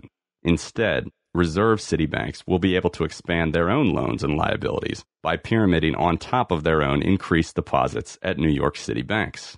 In turn, the country banks will be able to inflate their credit by pyramiding on top of their increased deposits at both Reserve City and New York banks. The whole nation is able to inflate uniformly and relatively unchecked by pyramiding on top of a few New York City banks. The national banks were not compelled to keep part of their reserves as deposits in larger banks, but they tended to do so in the long run so that they could expand uniformly on top of the larger banks, and in the short run because of the advantages of having a line of credit with a larger, quote, correspondent bank, as well as earning interest on demand deposits at that bank. Let us illustrate in another way how the national banking system pyramided by centralizing reserves. Let us consider the hypothetical balance sheet of the various banks. Suppose that the country banks begin with $1 million in vault cash as their reserves. With the national banking system in place, the country banks can now deposit three fifths, or $600,000, of their cash in reserve city banks in return for interest paying demand deposits at those banks. Total reserves for the two sets of banks have not changed. But now, because the country banks can use as their reserves deposits in reserve city banks, the same total reserves can be used by the banks to expand far more of their credit. For now, $400,000 in cash supports the same total of notes and deposits that the country banks had previously backed by $1 million and the reserve city banks can now expand $2.4 million on top of the new $600,000 in cash, or rather, $1.8 million in addition to the $600,000 due to the city banks. In short, country bank reserves have remained the same, but reserve city bank reserves have increased by $600,000, and they can engage in 4 to 1 pyramiding of credit on top of that. But that is not all the reserve city banks can deposit half of their reserves at the New York banks. When they do that, since the reserve city banks are allowed to keep half of their reserves in the central reserve city banks, the former can still pyramid $2.4 million on top of their new $600,000 and yet deposit $300,000 in cash at the New York banks. The latter, then, can expand another 4 to 1 on top of the new cash of $300,000 or increase their total notes and deposits to $1.2 million. In short, not only did the national banking system allow pyramiding of the entire banking structure on top of a few large Wall Street banks, but the very initiating of the system allowed a multiple expansion of all bank liabilities by centralizing a large part of the nation's cash reserves from the individual state banks into the hands of the larger, and especially the New York, banks for the expansion of $1.2 million on top of the new $300,000 at New York banks served to expand the liabilities going to the smaller banks, which in turn could pyramid on top of their increased deposits. But even without that further expansion, $1 million of which, we will assume, originally supported $6 million in notes and deposits, will now support, in addition to that $6 million, $2.4 million issued by the Reserve City banks and $1.2 million by the New York banks. To say nothing of further expansion by the latter two sets of banks, which will allow country banks to pyramid more liabilities.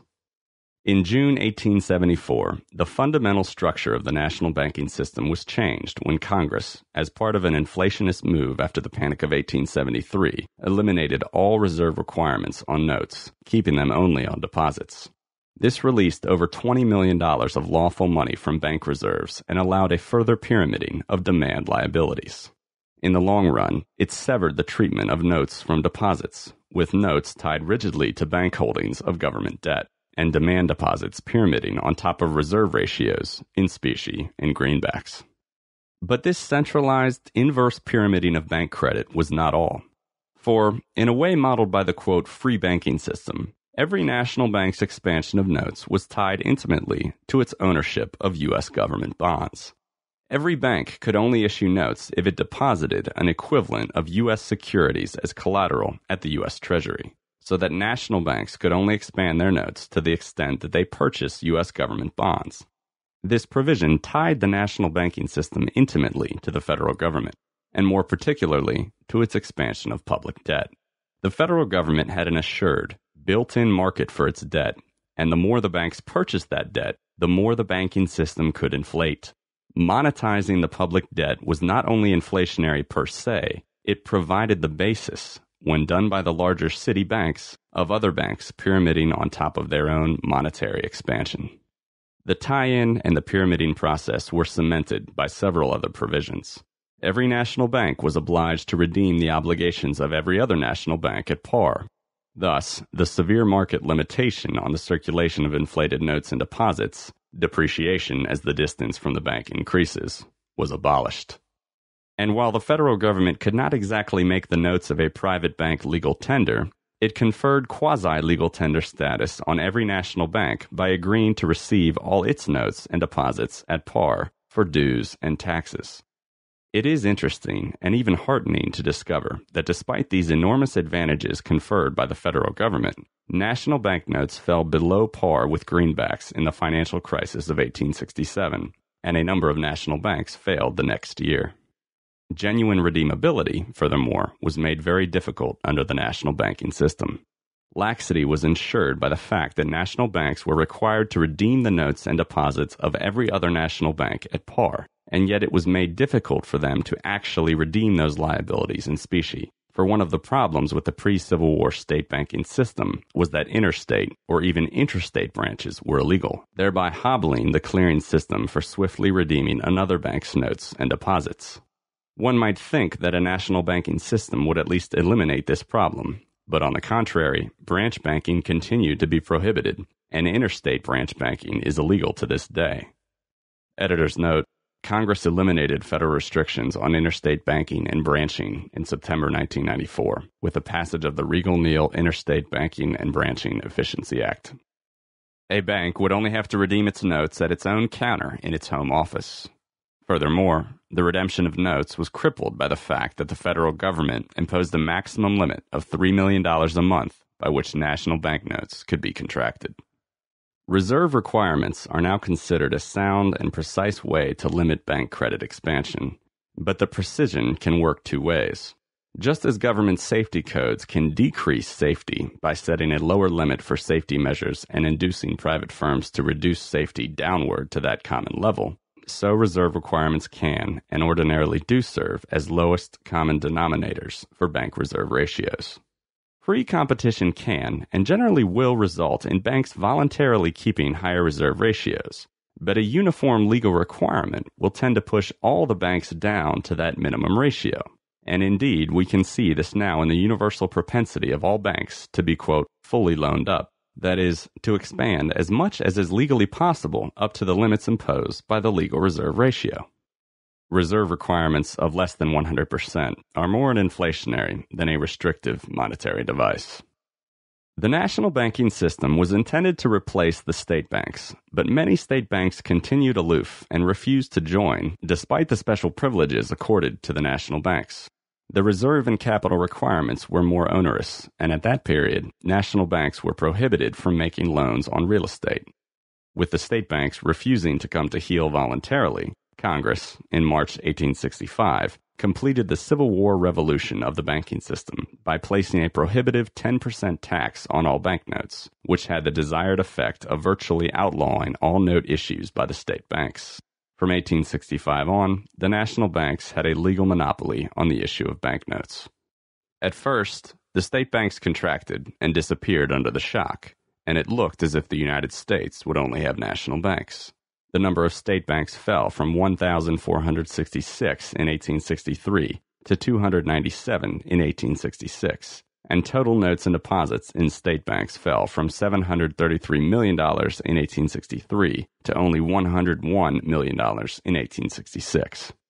After several years, however, the state banks readily took their place as an expanding element in the banking system, albeit subordinated to the national banks. In order to survive, the state banks had to keep deposit accounts at national banks, from whom they could, quote, buy national banknotes in order to redeem their deposits. In short, the state banks now became the fourth layer of the national pyramid of money and credit, on top of the country and other banks, for the reserves of the state banks became, in addition to vault cash, demand deposits at national banks, which they could redeem in cash.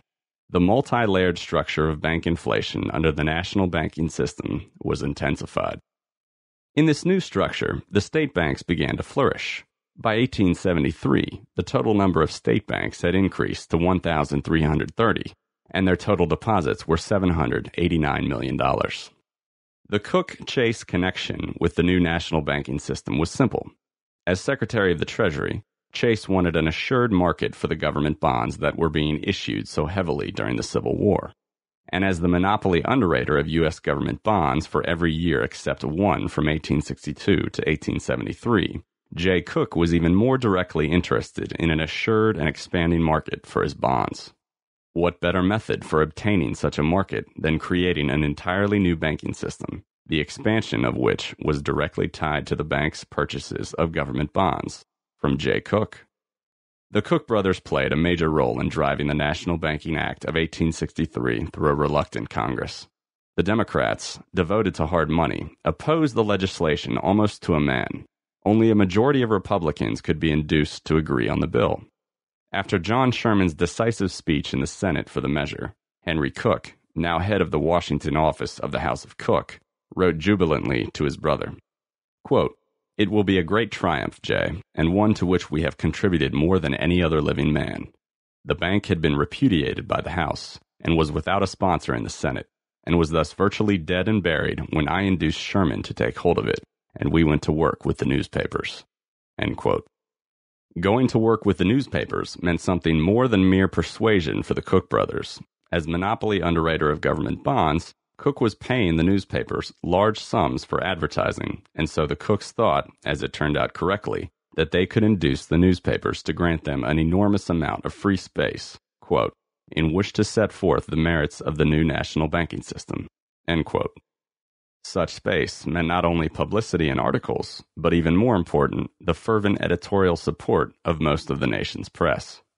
And so the press, implicitly bought for the occasion, kept up a drumfire of propaganda for the new national banking system. As Cooke himself related, quote, For six weeks or more, nearly all the newspapers in the country were filled with our editorials, written by the Cooke brothers, condemning the state bank system and explaining the great benefits to be derived from the national banking system now proposed. And every day, the indefatigable Cookes put on the desks of every member of Congress the relevant editorials from newspapers in their respective districts. While many state bankers, especially the conservative old line New York bankers, opposed the national banking system, Jay Cooke, once the system was in place, plunged in with a will. Not only did he sell the national banks their required bonds, he also set up new national banks which would have to buy his government securities. His agents formed national banks in the smaller towns of the South and West. Furthermore, he set up two large national banks the First National Bank of Philadelphia and the First National Bank of Washington, D.C. But the national banking system was in great need of a mighty bank in New York City to serve as the base of the inflationary pyramid for a host of country and reserve city banks.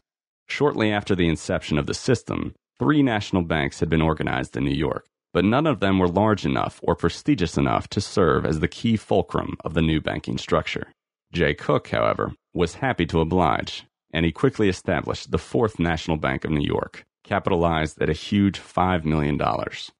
After the war, Jay Cooke favored resumption of specie payments, but only if greenbacks could be replaced one to one by new national banknotes. In his unbounded enthusiasm for national banknotes and their dependence on the federal debt, Cooke urged repeal of the $300 million legal limit on national banknote issue. In 1865, he published a pamphlet proclaiming that in less than 20 years, national banknote circulation would total $1 billion. The title of the pamphlet Cooke published is revealing. How our national debt may be a national blessing. The debt is public wealth, political union, protection of industry, secure basis for national currency. By 1866, it was clear that the national banking system had replaced the state as the center of the monetary system of the United States. Only a year earlier, in 1865, state banknotes had totaled $142.9 million. By 1866, they had collapsed to $20 million. On the one hand, national banknotes grew from a mere $31.2 million in 1864, their first year of existence, to $276 million in 1866. And while, as we have seen, the number of state banks in existence was falling drastically from 1,466 to 297, the number of national banks grew in that same period from 66 in 1863 to 1,634 three years later. The post Civil War era, 1865 to 1879. The United States ended the war with a depreciated inconvertible greenback currency and a heavy burden of public debt. The first question on the monetary agenda was what to do about the greenbacks. A powerful group of industrialists, calling for continuation of greenbacks, opposing resumption, and, of course, any contraction of money to prepare for specie resumption, was headed by the Pennsylvania iron and steel manufacturers. The Pennsylvania Iron Masters, who had been in the forefront of the organized protective tariff movement since its beginnings in 1820, were led here and instructed by their intellectual mentor, himself a Pennsylvania ironmaster, the elderly economist Henry C. Carey. Carey and his fellow iron manufacturers realized that during an inflation, since the foreign exchange market anticipates further inflation, domestic currency tends to depreciate faster than domestic prices are rising. A falling dollar and a rising price of gold, they realized, make domestic prices cheaper and imported prices higher, and hence function as a surrogate tariff. A cheap money, inflationist policy, then, could not only provide easy credit for manufacturing, it could also function as an extra tariff because of the depreciation of the dollar and the rise in the gold premium. Imbibers of the Carey gospel of high tariffs and soft money were a host of attendees at the famous, quote, Carey Vespers, evenings of discussion of economics and politics. Influential Carey disciples included economist and Pennsylvania ironmaster Stephen Colwell, Eber Ward, president of the Iron and Steel Association, John A. Williams, editor of the association's journal, Iron Age, Representative Daniel Morrell, Pennsylvania iron manufacturer, I. Smith Homans, Jr., editor of the Bankers magazine, and powerful U.S. Representative William D. Kelley of Pennsylvania, whose lifelong devotion to the interest of the Iron Masters earned him the proud sobriquet, quote, Old Pig Iron. The Carey Circle also dominated the American Industrial League, which spread the Carey doctrines of protection and paper money. Influential allies in Congress, if not precisely Carey followers, were the radical leader, Representative Thaddeus Stevens, himself a Pennsylvania ironmaster, and Representative John A. Griswold, an ironmaster from New York. Also sympathetic to greenbacks were many manufacturers who desired cheap credit, gold speculators who were betting on higher gold prices, and railroads, which as heavy debtors to their bondholders realized that inflation benefits debtors by cheapening the dollar, whereas it also tends to expropriate creditors by the same token. One of the influential Carey disciples, for example, was the leading railroad promoter, the Pennsylvanian Thomas A. Scott, leading entrepreneur of the Pennsylvania and the Texas and Pacific Railroads. One of the most flamboyant advocates of greenback inflation in the post war era was the Wall Street stock speculator Richard Schell.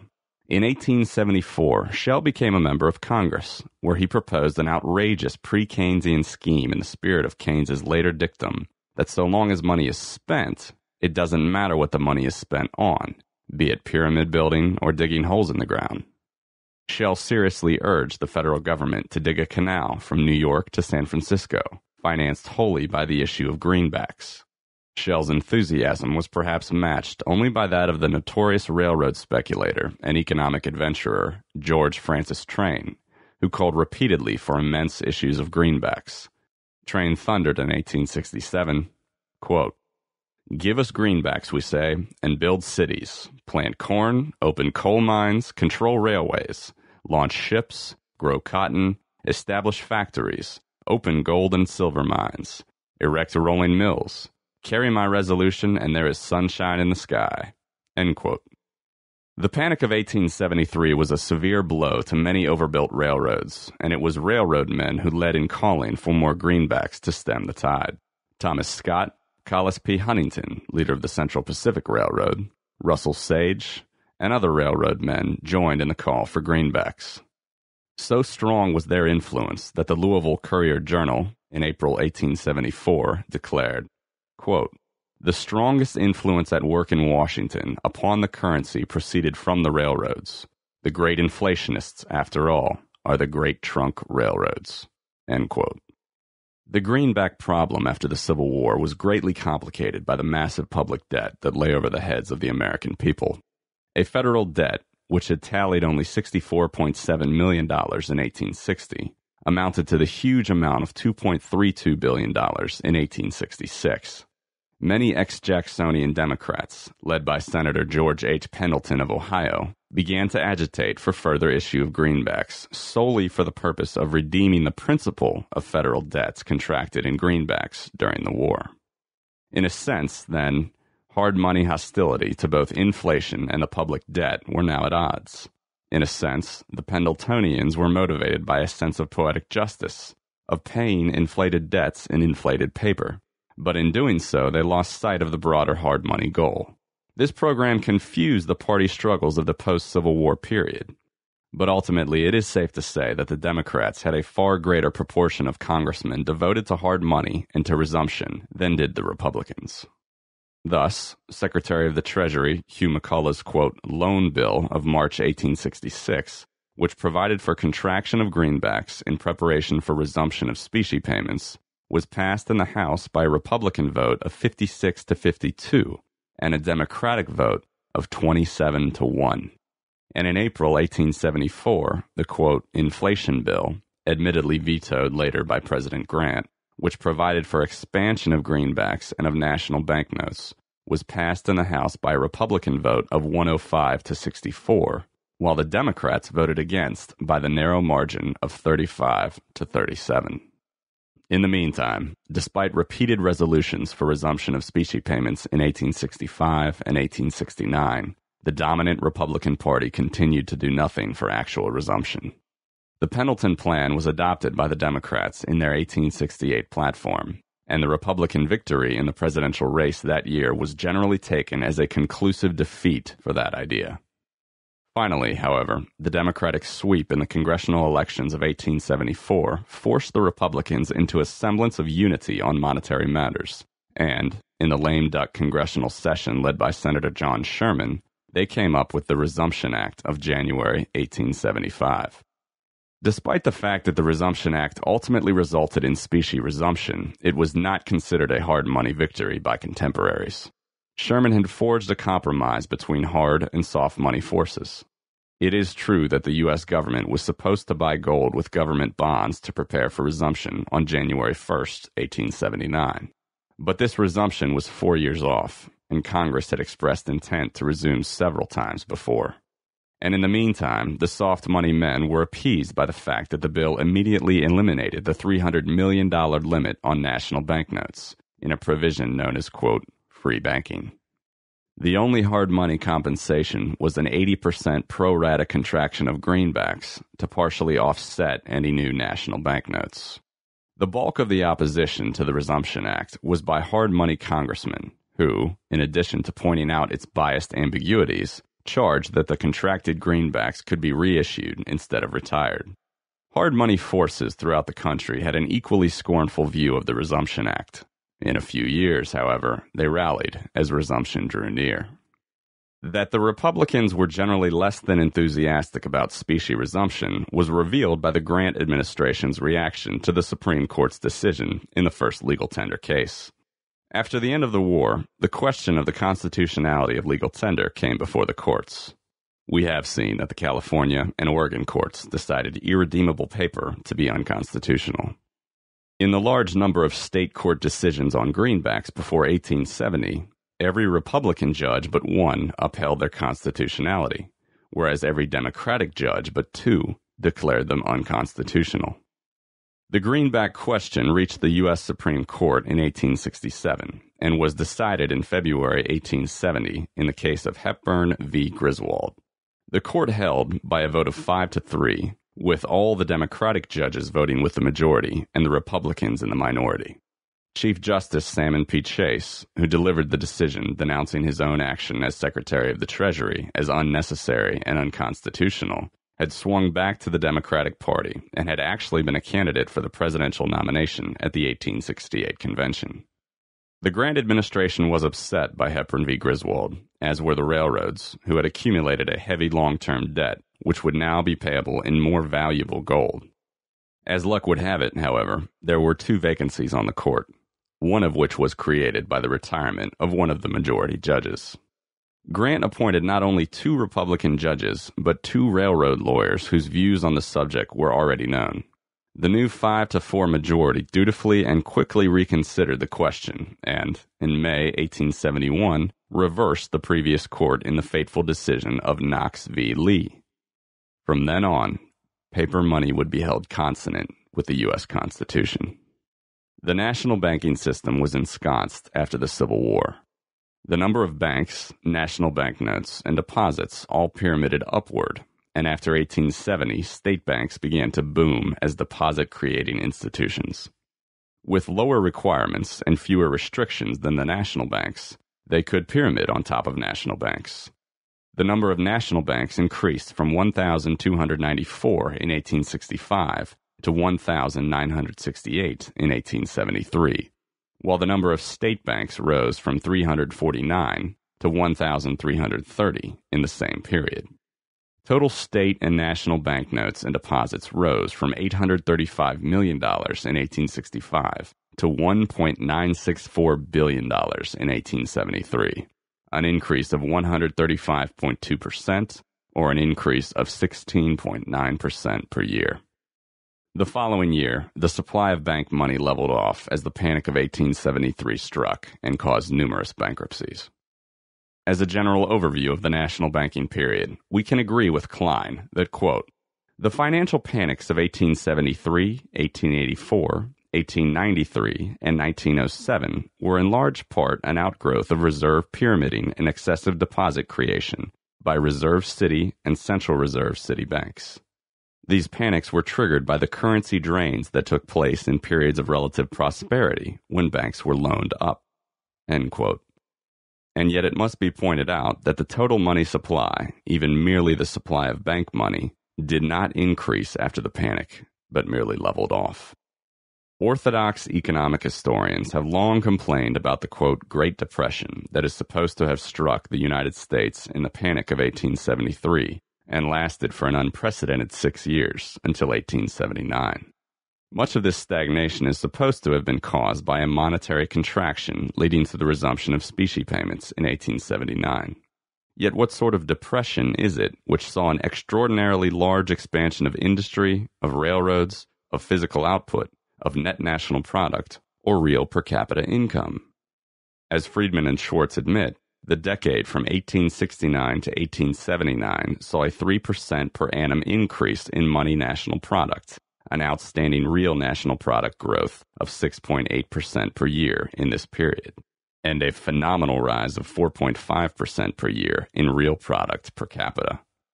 Even the alleged, quote, monetary contraction never took place, the money supply increasing by 2.7% per year in this period. From 1873 through 1878, before another spurt of monetary expansion, the total supply of bank money rose from $1.964 billion to $2.221 billion, a rise of 13.1%, or 2.6% per year. In short, a modest but definite rise, and scarcely a contraction. It should be clear, then, that the quote, Great Depression of the 1870s is merely a myth a myth brought about by misinterpretation of the fact that prices in general fell sharply during the entire period. Indeed, they fell from the end of the Civil War until 1879. Friedman and Schwartz estimated that prices in general fell from 1869 to 1879 by 3.8% per annum. Unfortunately, most historians and economists are conditioned to believe that steadily and sharply falling prices must result in depression, hence their amazement at the obvious prosperity and economic growth during this era. For they have overlooked the fact that in the natural course of events, when government and the banking system do not increase the money supply very rapidly, free market capitalism will result in an increase of production and economic growth so great as to swamp the increase of money supply. Prices will fall, and the consequences will be not depression or stagnation, but prosperity, since costs are falling too, economic growth, and the spread of the increased living standards to all the consumers. Indeed, Recent research has discovered that the analogous, quote, Great Depression in England in this period was also a myth, and due to a confusion between a contraction of prices and its alleged inevitable effect on a depression of prices, and its alleged inevitable effect on a depression of business activity. It might well be that the major effect of the Panic of 1873 was not to initiate a Great Depression, but to cause bankruptcies in overinflated banks and in railroads riding on the tide of vast government subsidy and bank speculation. In particular, we may note Jay Cooke, one of the creators of the national banking system and paladin of the public debt. In 1866, he favored contraction of the greenbacks and early resumption because he feared that inflation would destroy the value of government bonds. By the late 1860s, however, the House of Cooke was expanding everywhere, and in particular had gotten control of the new Northern Pacific Railroad. Northern Pacific had been the recipient of the biggest federal largesse to railroads during the 1860s, a land grant of no less than 47 million acres. Cooke sold Northern Pacific bonds as he had learned to sell government securities, hiring pamphleteers to write propaganda about the alleged Mediterranean climate of the Northwest. Many leading government officials and politicians were on the Cooke Northern Pacific payroll, including President Grant's private secretary, General Horace Porter. In 1869, Cooke expressed his monetary philosophy in keeping with his enlarged sphere of activity.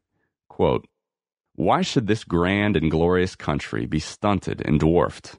Its activities chilled and its very lifeblood curdled by these miserable hard coin theories, the musty theories of a bygone age, these men who are urging on premature resumption know nothing of the great growing West, which would grow twice as fast if it was not cramped for the means necessary to build railroads and improve farms and convey the produce to market. But in 1873, a remarkable example of poetic justice struck Jay Cooke. The overbuilt Northern Pacific was crumbling, and a Cooke government bond operation provided a failure.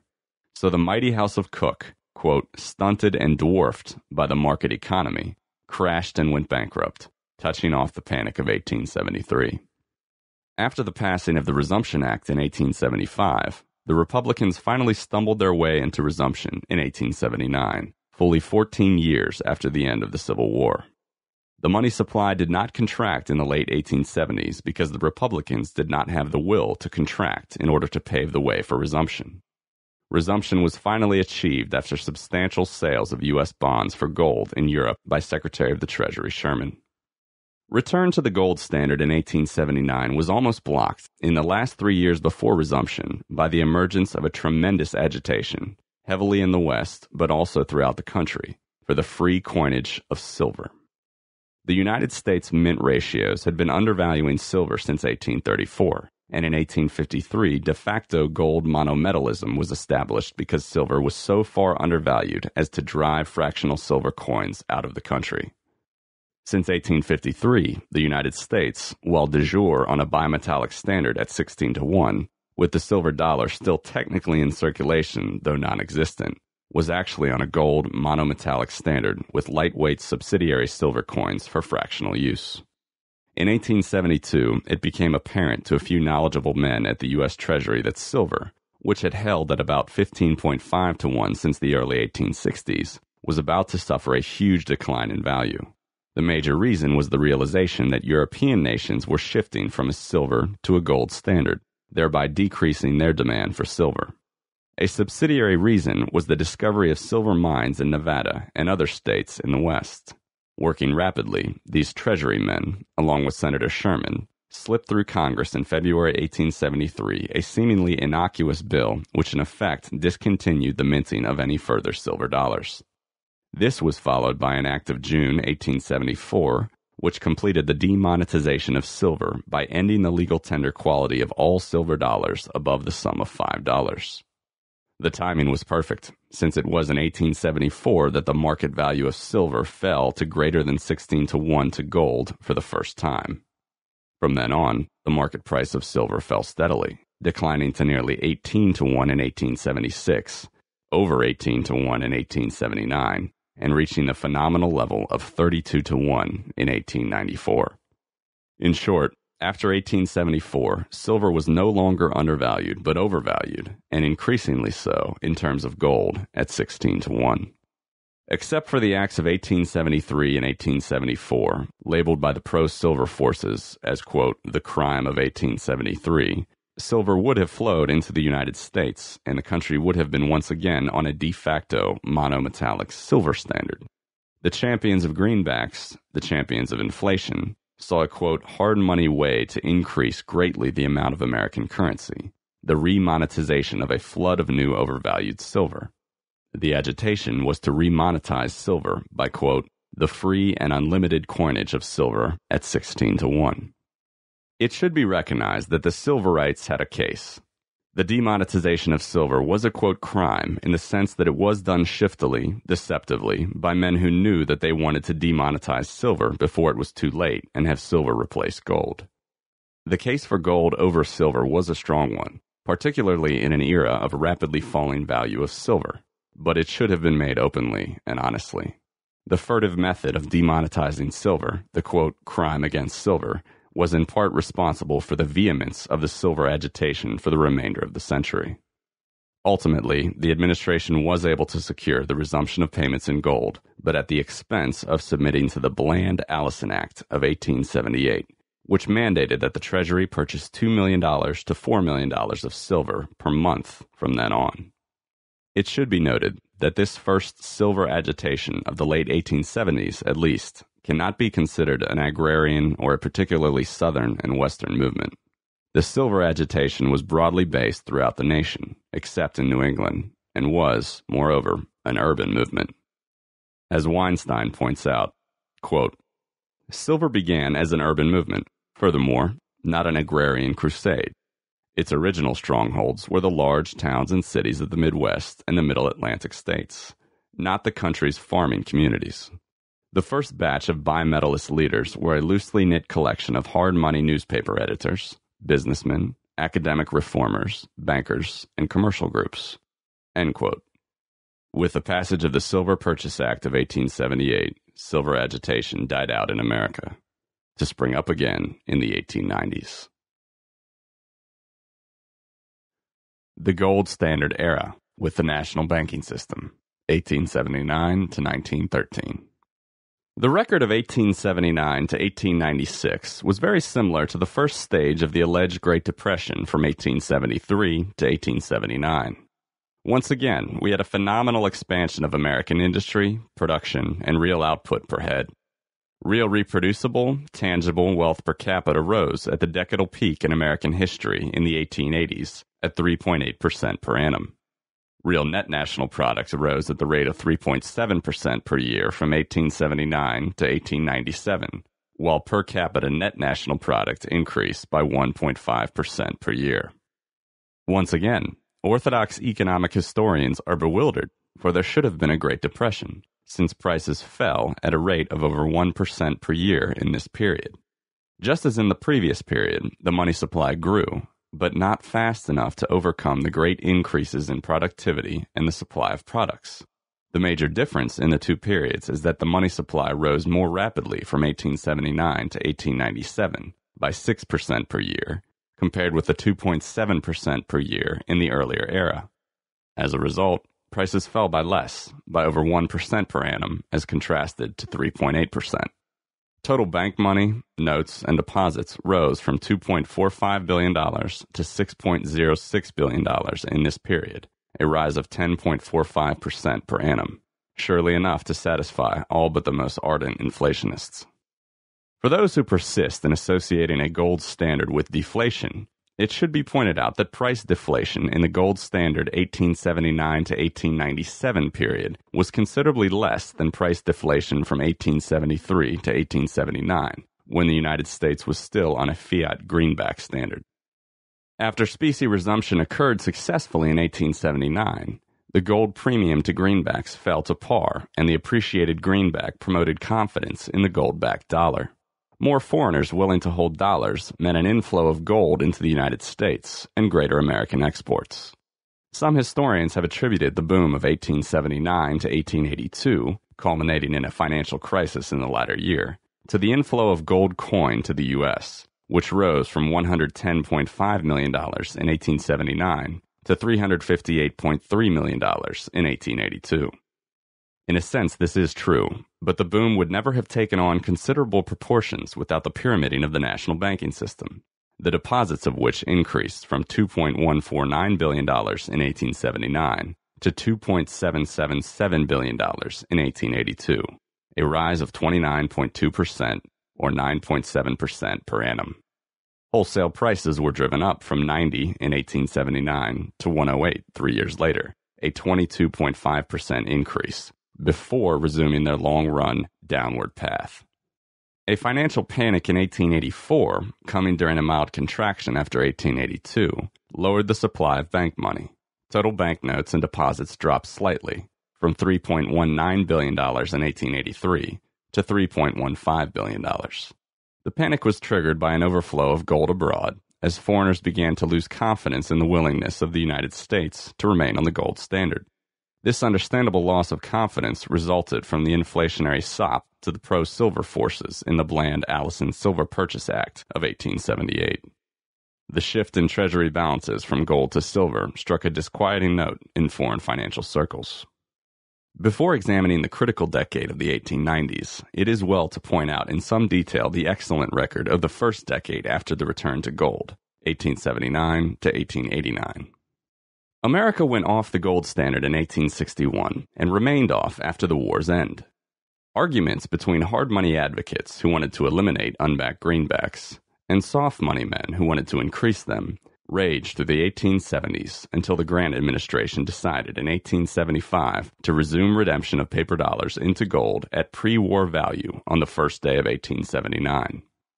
At the time, in 1875, greenbacks were trading at a discount of roughly 17% against the pre war gold dollar. A combination of outright paper money deflation and an increase in official gold holdings enabled a return to gold four years later, which set the scene for a decade of tremendous economic growth. Economic record keeping a century ago was not nearly as well developed as today, but a clear picture comes through nonetheless. The Encyclopedia of American Economic History calls the period under review, quote, one of the most expansive in American history. Capital investment was high, there was little unemployment, and the real costs of production declined rapidly. End quote. prices, wages, and real wages. This is shown most graphically with a look at wages and prices during the decade before and after convertibility. While prices fell during the 1870s and 1880s, wages only fell during the greenback period and rose from 1879 to 1889. The figures tell a remarkable story. Both consumer prices and nominal wages fell by about 30% during the last decade of greenbacks. But from 1879 to 1889, while prices kept falling, wages rose 23%. So real wages, after taking inflation, or the lack of it, into effect, soared. No decade before or since produced such a sustainable rise in real wages. Two possible exceptions are the periods 1909 to 1919, when the index rose from 99 to 140, and 1929 to 1939, when the index rose from 134 to 194.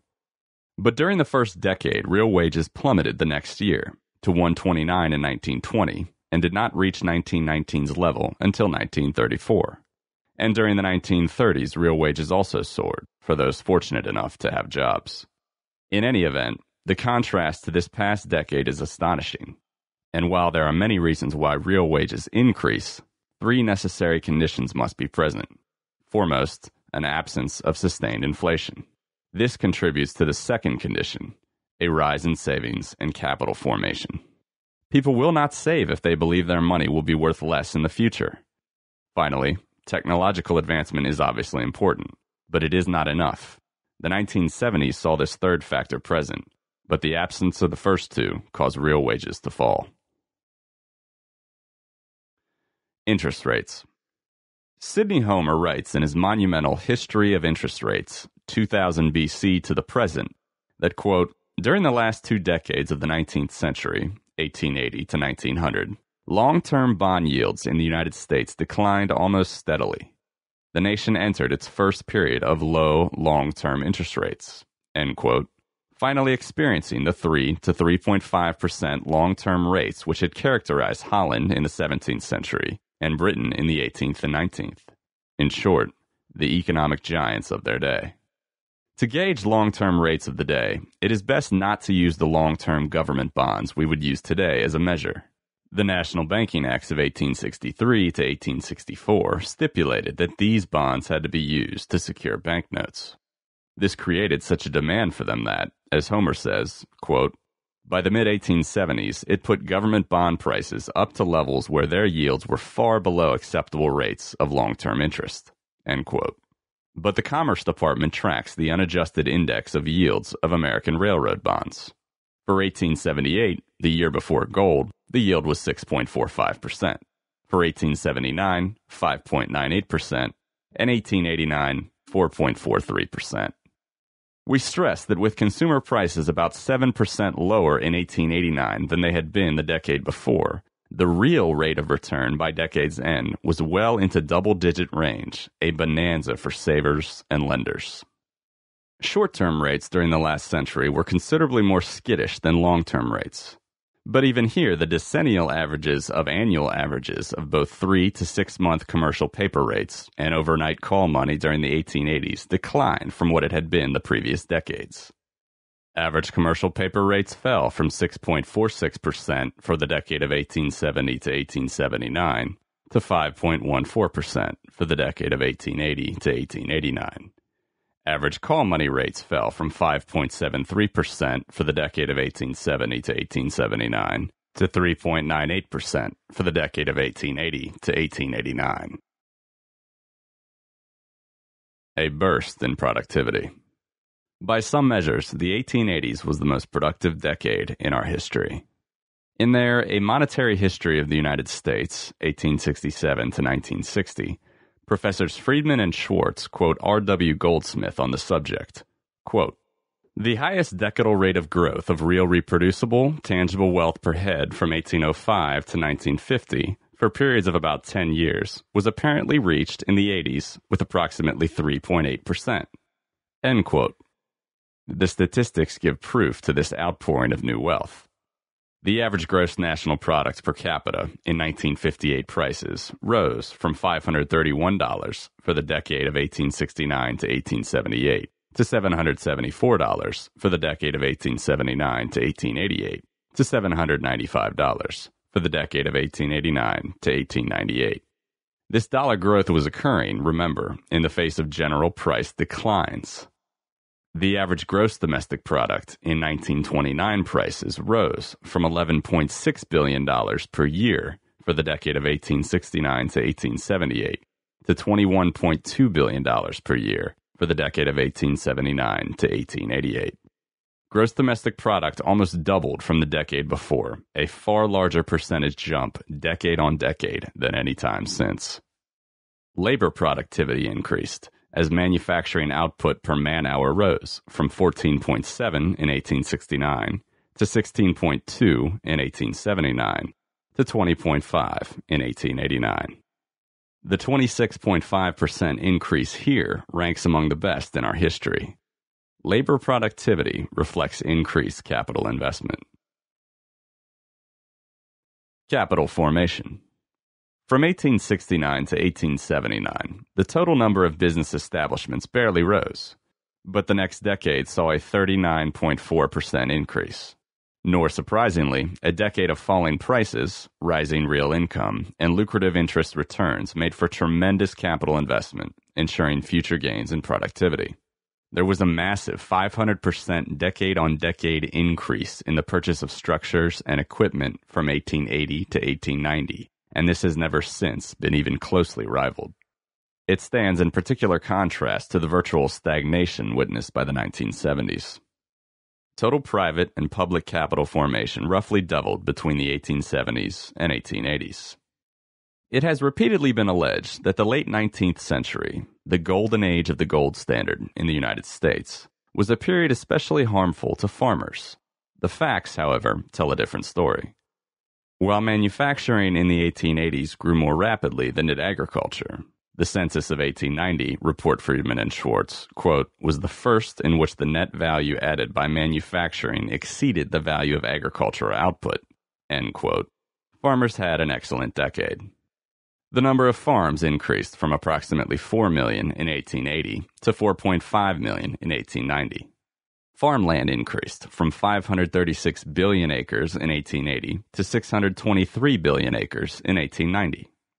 Farm productivity increased from 5.1 persons supplied by a farm worker in 1880 to 5.6 in 1890.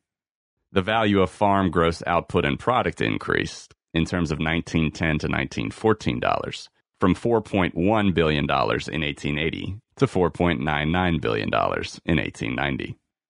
So farms, farmland, productivity, and production all increased in the 1880s, even while commodity prices were falling and farm wage rates, even in nominal terms, rose during this time. In 1879 or 1880, the wage per month with room and board was $11.50. In 1889 or 1890, the wage per month with room and board was $13.50. This phenomenal economic growth during the decade immediately after the return to gold convertibility cannot be attributed solely to the gold standard. Indeed, all during this time, there was never a completely free market monetary system. The National Banking Acts of 1863 to 1864 had semi cartelized the banking system.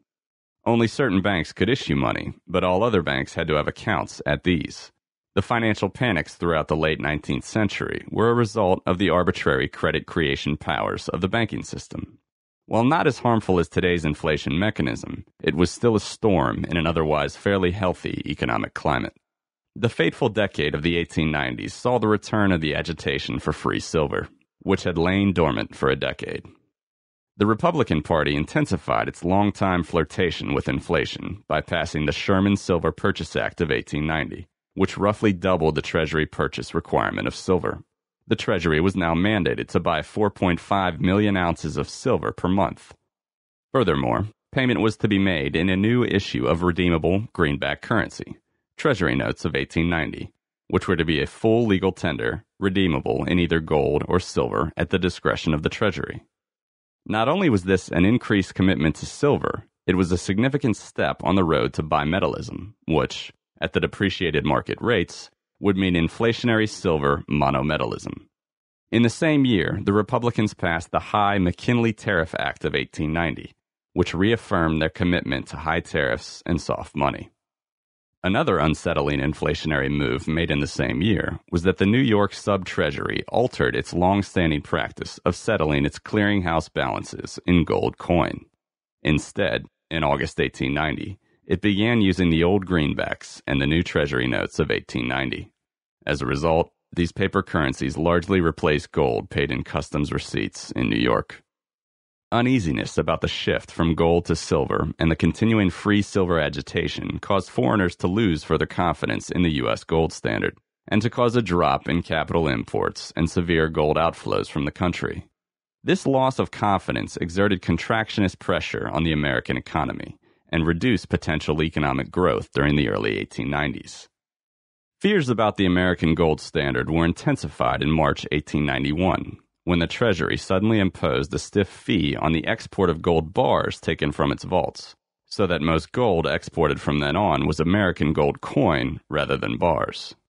A shock went through the financial community in the U.S. and abroad when the United States Senate passed a free silver coinage bill in July 1892.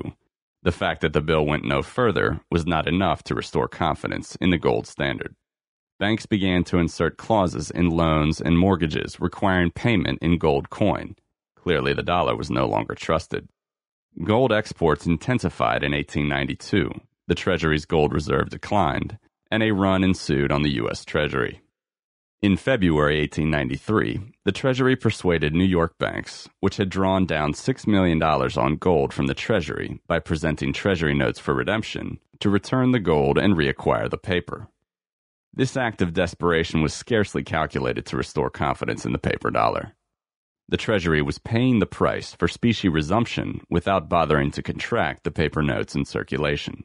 The gold standard was therefore inherently shaky, resting only on public confidence, and that was giving way under the silver agitation and under desperate acts by the Treasury. Poor Grover Cleveland, a hard money Democrat, assumed the presidency in the middle of this monetary crisis.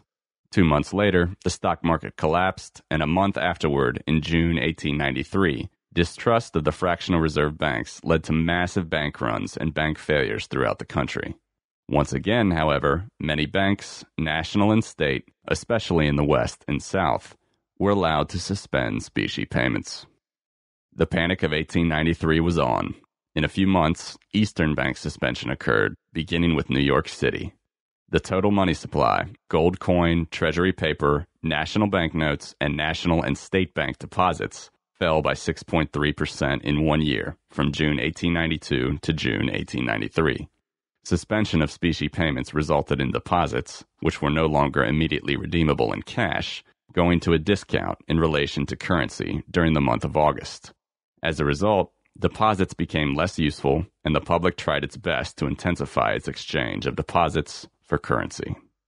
By the end of 1893, the panic was over, as foreign confidence rose with the Cleveland administration's successful repeal of the Sherman Silver Purchase Act in November of that year.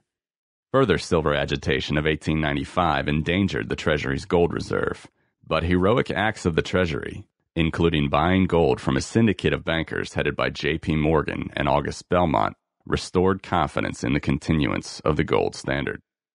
The victory of the Free Silver Bryanite forces at the 1896 Democratic Convention caused further problems for gold, but the victory of the pro gold Republicans put an end to the problem of domestic and foreign confidence in the gold standard.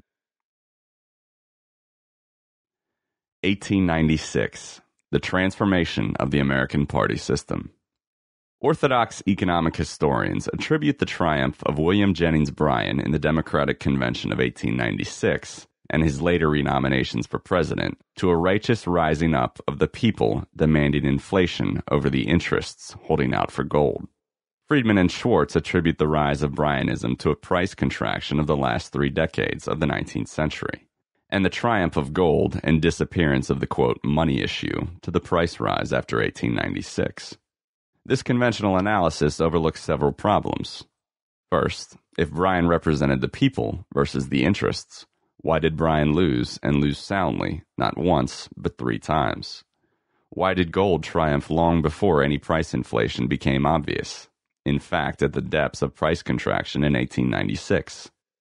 But the main neglect of the conventional analysis is the disregard of the highly illuminating insights provided in the past 15 years by the quote, new political history of 19th century American politics and its political culture. The new political history began by going beyond national political issues, largely economic, and investigating state and local political contests.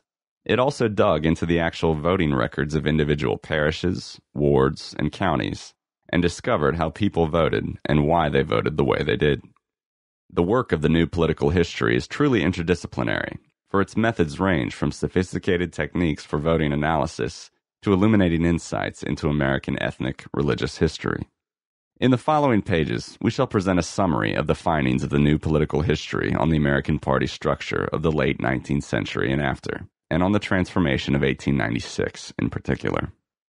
First, the history of American political parties is one of successive, quote, party systems. Each party system lasts several decades, with each particular party having a certain central character. In many cases, the name of the party can remain the same, but its essential character can drastically change in the so called, quote, critical elections. In the 19th century, the nation's second party system, the Whigs versus Democrats, lasting from about 1832 to 1854, was succeeded by the third system, the Republicans versus Democrats, lasting from 1854 to 1896. Characteristic of both party systems was that each party was committed to a distinctive ideology clashing with the other, and these conflicting worldviews made for fierce and close contests. Elections were particularly hard fought. Interest was high since the parties offered a quote choice, not an echo, and so the turnout rate was remarkably high, often reaching 80 to 90% of eligible voters. More remarkably, candidates did not, as we are used to in the 20th century, fuzz their ideology during campaigns in order to appeal to a floating, ideologically different, independent voter.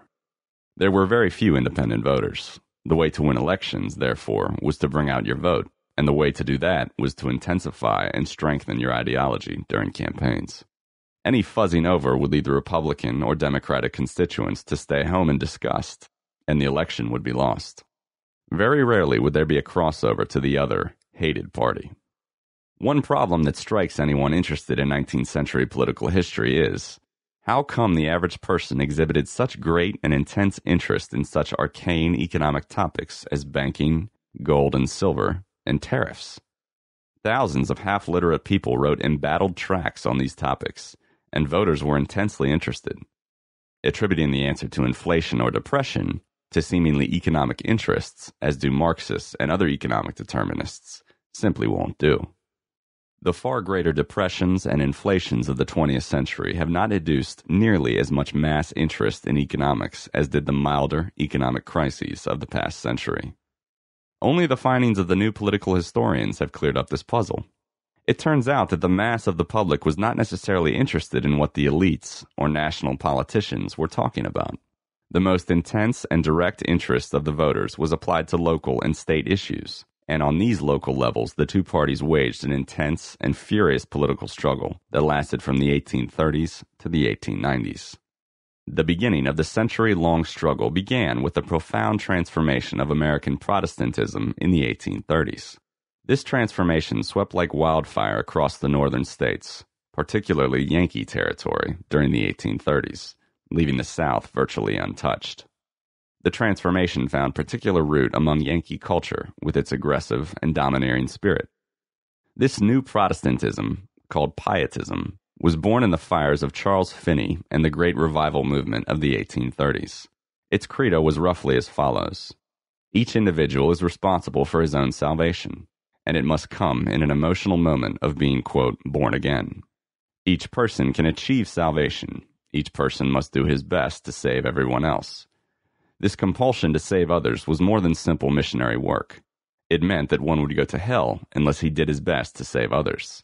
But since each person is alone and facing the temptation to sin, this role can only be done by the use of the state. The role of the state was to stamp out sin and create a new Jerusalem on earth. The Pietists defined sin very broadly.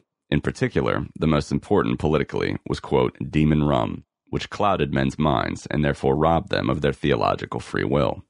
In the 1830s, the evangelical Pietists launched a determined and indefatigable prohibitionist crusade on the state and local level that lasted a century.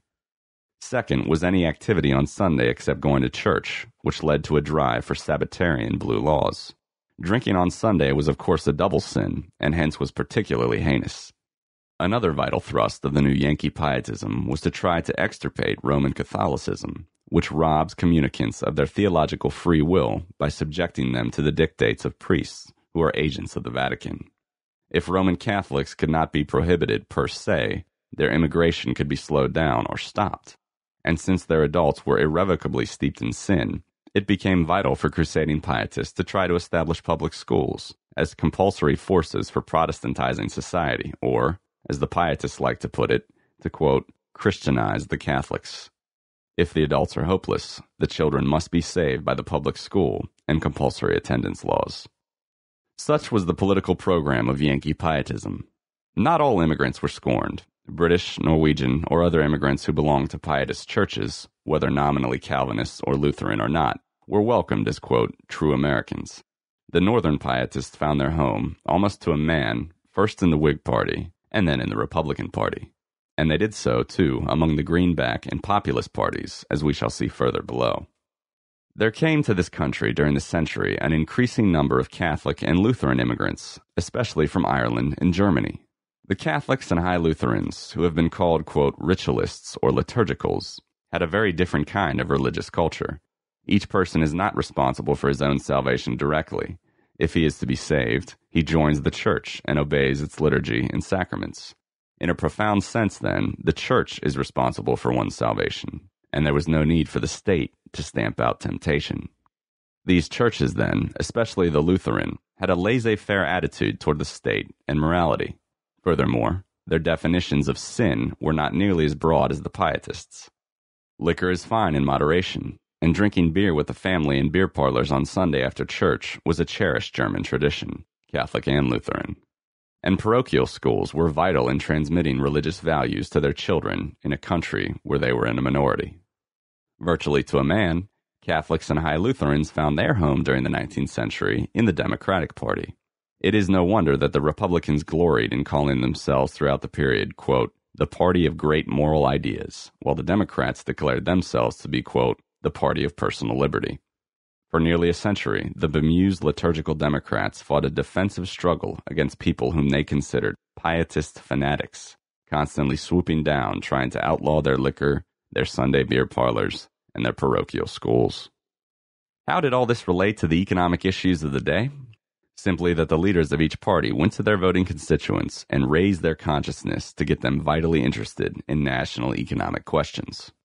Thus, the Republican leaders would go to their rank and file and say, just as we need big paternalistic government on the local and state level to stamp out sin and compel morality, so we need big government on the national level to increase everyone's purchasing power through inflation, keeping out cheap foreign goods through tariffs, or keeping out cheap foreign labor through immigration restrictions.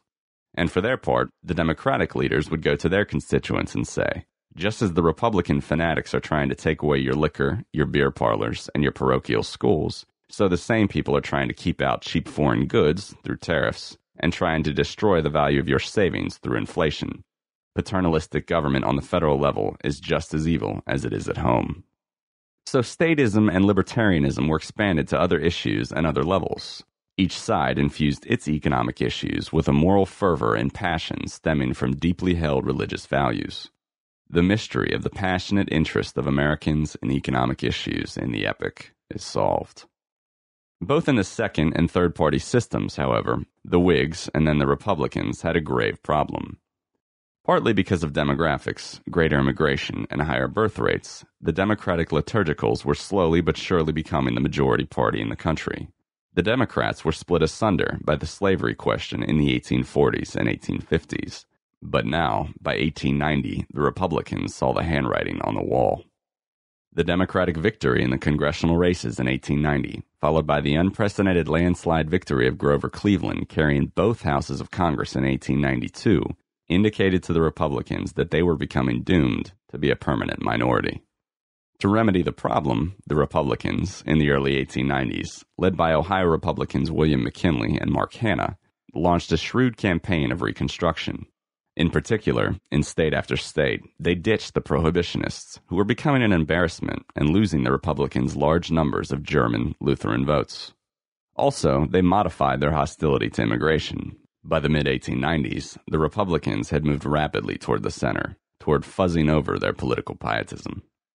In the meanwhile, an upheaval was beginning to occur in the Democratic Party. The South, by now a one party Democratic region, was having its own pietism transformed by the 1890s. Quiet pietists were now becoming evangelical, and Southern Protestant organizations began to call for prohibition. Then the new, sparsely settled mountain states, many of them with silver mines, were largely pietist. Moreover, a power vacuum, which would ordinarily have been temporary, had been created in the National Democratic Party. Poor Grover Cleveland, a hard money laissez faire Democrat, was blamed for the Panic of 1893 and many leading Cleveland Democrats lost their gubernatorial and senatorial posts in the 1894 elections. The Cleveland Democrats were temporarily weak, and the Southern Mountain Coalition was ready to hand. Seeing this opportunity, William Jennings Bryan and his Pietist coalition seized control of the Democratic Party at the momentous convention of 1896. The Democratic Party was never to be the same again. The Catholics, Lutherans, and laissez faire Cleveland Democrats were in mortal shock the quote, party of our fathers was lost. The Republicans, who had been moderating their stance anyway, saw the opportunity of a lifetime. At the Republican convention, Representative Henry Cabot Lodge, representing the Morgans and the pro gold standard Boston financial interests, told McKinley and Hanna Pledge yourself to the gold standard, the basic Cleveland economic issue, and drop your silverite and greenback tendencies, and we will all back you. Refuse, and we will support Bryan or a third party. McKinley struck the deal, and from then on, the Republicans, in 19th century terms, were a centrist party. Their principles were now high tariffs and the gold standard, and prohibition was quietly forgotten. What would the poor liturgicals do? Many of them stayed home in droves, and indeed the election of 1896 marks the beginning of the great slide downward in voter turnout rates that continues to the present day. Some of them, in anguish at the pietist, inflationist, and prohibitionist Bryanites, actually conquered their anguish and voted Republican for the first time in their lives. The Republicans, after all, had dropped the hated prohibitionists and adopted gold. The election of 1896 inaugurated the fourth party system in America. From the third party system of closely fought, seesawing races between a pious statist Republican Party versus a liturgical libertarian Democratic Party, the fourth party system consisted of a majority centrist Republican Party against a minority pietist Democratic Party. After a few years, the Democrats lost their pietist nature, and they too became a centrist, though usually minority party, with a moderately statist ideology scarcely distinguishable from the Republicans. So went the fourth party system until 1932. A charming anecdote, told to us by Richard Jensen, sums up much of the 1896 election the heavily German city of Milwaukee had been mainly Democratic for years. The German Lutherans and Catholics in America were devoted, in particular, to the gold standard and were bitter enemies of inflation. The Democratic nomination for Congress in Milwaukee had been obtained by a populist Democrat, Richard Schilling. Sounding for all the world like modern monetarists or Keynesians, Schilling tried to explain to the assembled Germans of Milwaukee in a campaign speech that it didn't really matter what commodity was chosen as money that quote gold, silver, copper, paper, sauerkraut, or sausages would do equally well as money. At that point, the German masses of Milwaukee laughed Schilling off the stage, and the shrewdly opportunistic Republicans adopted as their campaign slogan Schilling and sauerkraut and swept Milwaukee. The Greenbackers and later the pro silver inflationist Bryanite Populist Party were not, quote, agrarian parties, they were collections of pietists aiming to stamp out personal and political sin. Thus, as Kleppner points out, quote, the Greenback Party was less an amalgamation of economic pressure groups than an ad hoc coalition of true believers, ideologues who launched their party as a quasi religious movement that bore the indelible hallmark of a transfiguring faith. The Greenbackers perceived their movement as the quote, religion of the master in motion among men. End quote and the Populists described their 1890 free silver contest in Kansas not as a political campaign, but as, quote, a religious revival, a crusade, a Pentecost of politics in which a tongue of flame sat upon every man, and each spake as the Spirit gave him utterance. The people had, quote, heard the word and could preach the gospel of populism. It was no accident, we see now, that the Greenbackers almost invariably endorsed prohibition, compulsory public schooling, and crushing of parochial schools, or that populists in many states, quote, declared unequivocally for prohibition or entered various forms of fusion with the Prohibition Party. The transformation of 1896 and the death of the third party system meant the end of America's great laissez faire, hard money libertarian party. The Democratic Party was no longer the party of Jefferson, Jackson, and Cleveland. With no further political embodiment for laissez faire in existence, and with both parties offering, quote, an echo, not a choice, public interest in politics steadily declined. A power vacuum was left in American politics for the new corporate statist ideology of progressivism, which swept both parties and created a short lived progressive party in America after 1900.